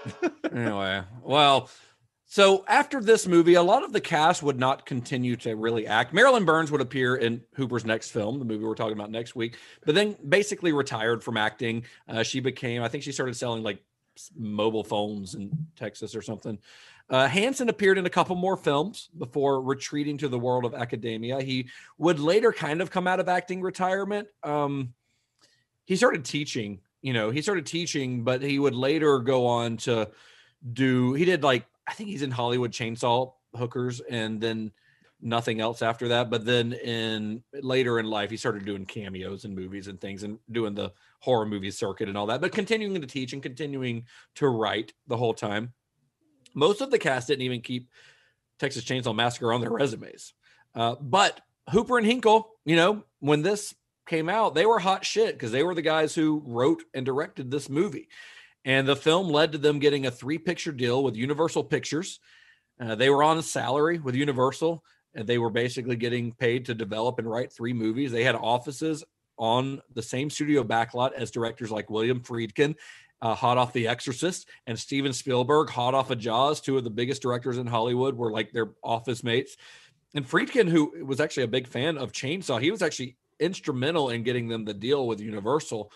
Uh, but before they could work on any of the films for Universal, they had to satisfy a deal made before their Universal contract. Uh, it actually with a with a distribution company owned by Roger Corman. And that film would be their official follow up to the Texas Chainsaw Massacre, released in 1976, called Eaten Alive. And that's the movie we're talking about next week here on the show as we continue our deep dive into the career of Mr. Tobe Hooper. Mm. I've never seen Eaten Alive. I'm excited about it. Yep, that's that's going to be a new one for me. Of course, I guess that's not a surprise. All three of us, it's going to be a new one for, so that's exciting.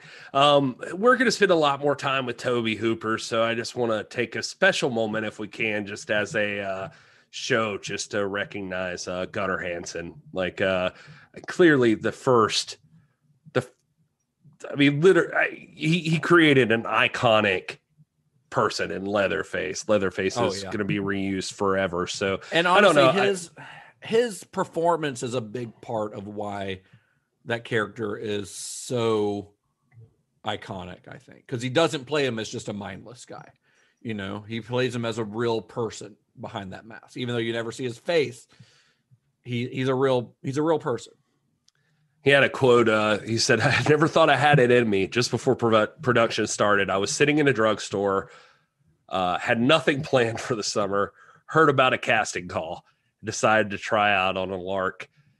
I was 26 years old, just out of graduate school. I met Tobe Hooper and writer Kim Henkel, and they asked me three questions before they hired me Are you a violent person? No. Are you crazy? Not more than normal they finally asked, Can you do it? And I said, Sure, it's easy. they loved the fact that I filled the doorway. Tobe Hooper said, I think we're going to put high heels on you and make you a little bit bigger than that. and uh, he says, I'm not even actually totally enamored with this film. It's very, very good at what it is a film that succeeds in really scaring the hell out of people. As to Chainsaw being analogous to the breakdown of the American nuclear family and other lofty themes recently explored, I don't know. The movie was very effective because we broke rules, a lot like Psycho did when the heroine is killed early in the film. There are no safe scenes in our film, no cuts or distractions that relieve the terror. Um, he just became a favorite among aficionados. Like uh, Gunnar Hansen became a, a huge icon in horror movies, probably making most of his life just on convention scenes and that sort of thing. But uh, he uh, sadly uh, died of pa- pancreatic cancer, uh, which is Yeah, he passed away in uh, 2015, and he had moved back to Maine, which is where he'd spent some of his childhood when he first moved to America. But he, uh, his final role that he filmed was actually in Texas Chainsaw 3D. Uh, that was his final his final uh, appearance. Uh, not, there was another film that came out after he died that he had uh, appeared in a small role, a movie that he had actually written uh, called Death House. But the final role, his official final role was Texas Chainsaw 3D, which is in 2013. Yeah, he died a couple of years later in Maine, where he had moved back and, and had continued to write for most of his life. Uh, 68 years old when he died. Yeah, just a sad, sad story. And uh, but I- Speaking I just of sad, think Bob Bob Burns uh, was another. Um, uh, an- um, a lot of people involved in this movie have since died. Marilyn Burns has passed away. Passed away of a heart attack a few years ago uh, in her sleep. Uh, Bob Burns uh, committed suicide after being diagnosed with uh, un, un uh, I guess uncurable cancer. He had cancer and he just decided to take his own life, unfortunately, a few years ago. Uh, so a lot of people involved in this movie have died, but this movie lives on. You know, the movie is, you know, Tobe Hooper had a quote where he's like, "Man, I didn't know that the movie we were making would be spoke about in the same way that people talk about Gone with the Wind, like a movie that is an iconic piece of film history." But this is the this is what we did. It's like I we were a bunch of kids, a bunch of he he was 29 years old, I think, when he directed the movie. I you bet know. you to guess that uh, more podcasts have been made covering this movie than covering Gone with the Wind. So he's Oh, right yeah. on target. Absolutely.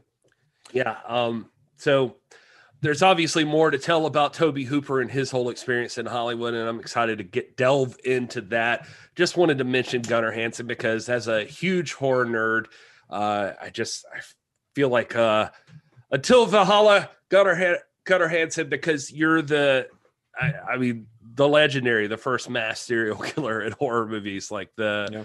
the the guy. So uh, you know, and I say that as a huge Michael Myers fan. Gunnar Hansen as Leatherface was the OG, and people have been trying to mimic that ever since. So, uh, props to Gunnar. Gunnar Hansen, Leatherface walked so that Michael Myers could also walk very slowly. Walks very slowly. creep behind shadows. Uh, yeah, I the wife asked me the other day on like uh, horror villain battles who would win, Michael Myers or Leatherface, and I was like Michael Myers. like I was like just easily like I love Leatherface, but Leatherface doesn't have strategy, and Michael Myers employs that. He is a cat chasing a toy constantly. Like Leatherface is just like a bull in a china shop, just like running through places, like mainly That not even shot running through a Leatherface. shot, it, it- china shop. He's he's just kind of just trying to be like, fucking leave me alone. Like Yeah. I'm just just don't fuck with me. like Just want to make some sausage. yeah, I'm just trying to cut some people up, man. trying to make good food for you people to eat so the old man can win barbecue contests. But that's in Texas Chainsaw too. Yeah, yeah. We'll get to that later. So uh, for now, we'll wrap this episode up. Thanks for joining us for this series. This is going to be a really fun one, I think. Uh, it's going to go to some weird places because Tobe Hooper has an incredibly interesting career, I think. Uh, so we'll be back next week for Eaten Alive. If you want to find out where to stream that, uh, you can go to cinemashock.net. We'll have a link there. If you find the description of this episode, the Texas Chainsaw episode, I've always got links on those descriptions where you can find where to stream the next couple of films that we're going to talk about. So you'll also kind of get a sneak preview of what movies we're going to be talking about in the upcoming weeks. If you check that out, uh, you can also find us on Twitter and Instagram at cinema underscore shock. Find us on Facebook and like us and, you know, rate and review on pod, uh, all the podcast apps and all that stuff. Uh, Todd's got his uh, Star Trek show is out now. Episode one has dropped. Uh, maybe episode two by time th- uh, this episode comes out. So uh, you can find uh, uh, the Computer Resume podcast on Podbean today. Hopefully, yeah, we're yeah, we- soon. yeah, we're working on getting it other places. Yeah. And uh, of course, Gary's got his This is Pro Wrestling podcast everywhere. You can find that on YouTube and all the podcast places. I places. slipped my wrestling reference in this episode. Todd didn't. Uh, Star Trek of a uh, reference. yeah, I uh yeah, I I figured I'd take a back seat on this one. Yeah, I don't know. I don't even know where it would have fit. But anyway, yeah. Where can you get- guys be found on the internet? At this is Gary Horne on all the things. At Mr. Todd A. Davis and all the things. And I am at Justin underscore Bishop. And until next week, May the wings of liberty never lose a feather. be excellent to each other. Johnny has the keys. Oh, wow. We don't get like an embellishment this time. Uh, well, I mean, I, I thought about, I don't know, I thought about trying to do it like as uh, Franklin, you know, with a Franklin accent. It, I, I, it was just so grating. Selby, Johnny Yeah. has the keys. Franklin, Fucking you piece of Franklin. I'm glad he, I'm glad that piece of shit died. Uh, the worst.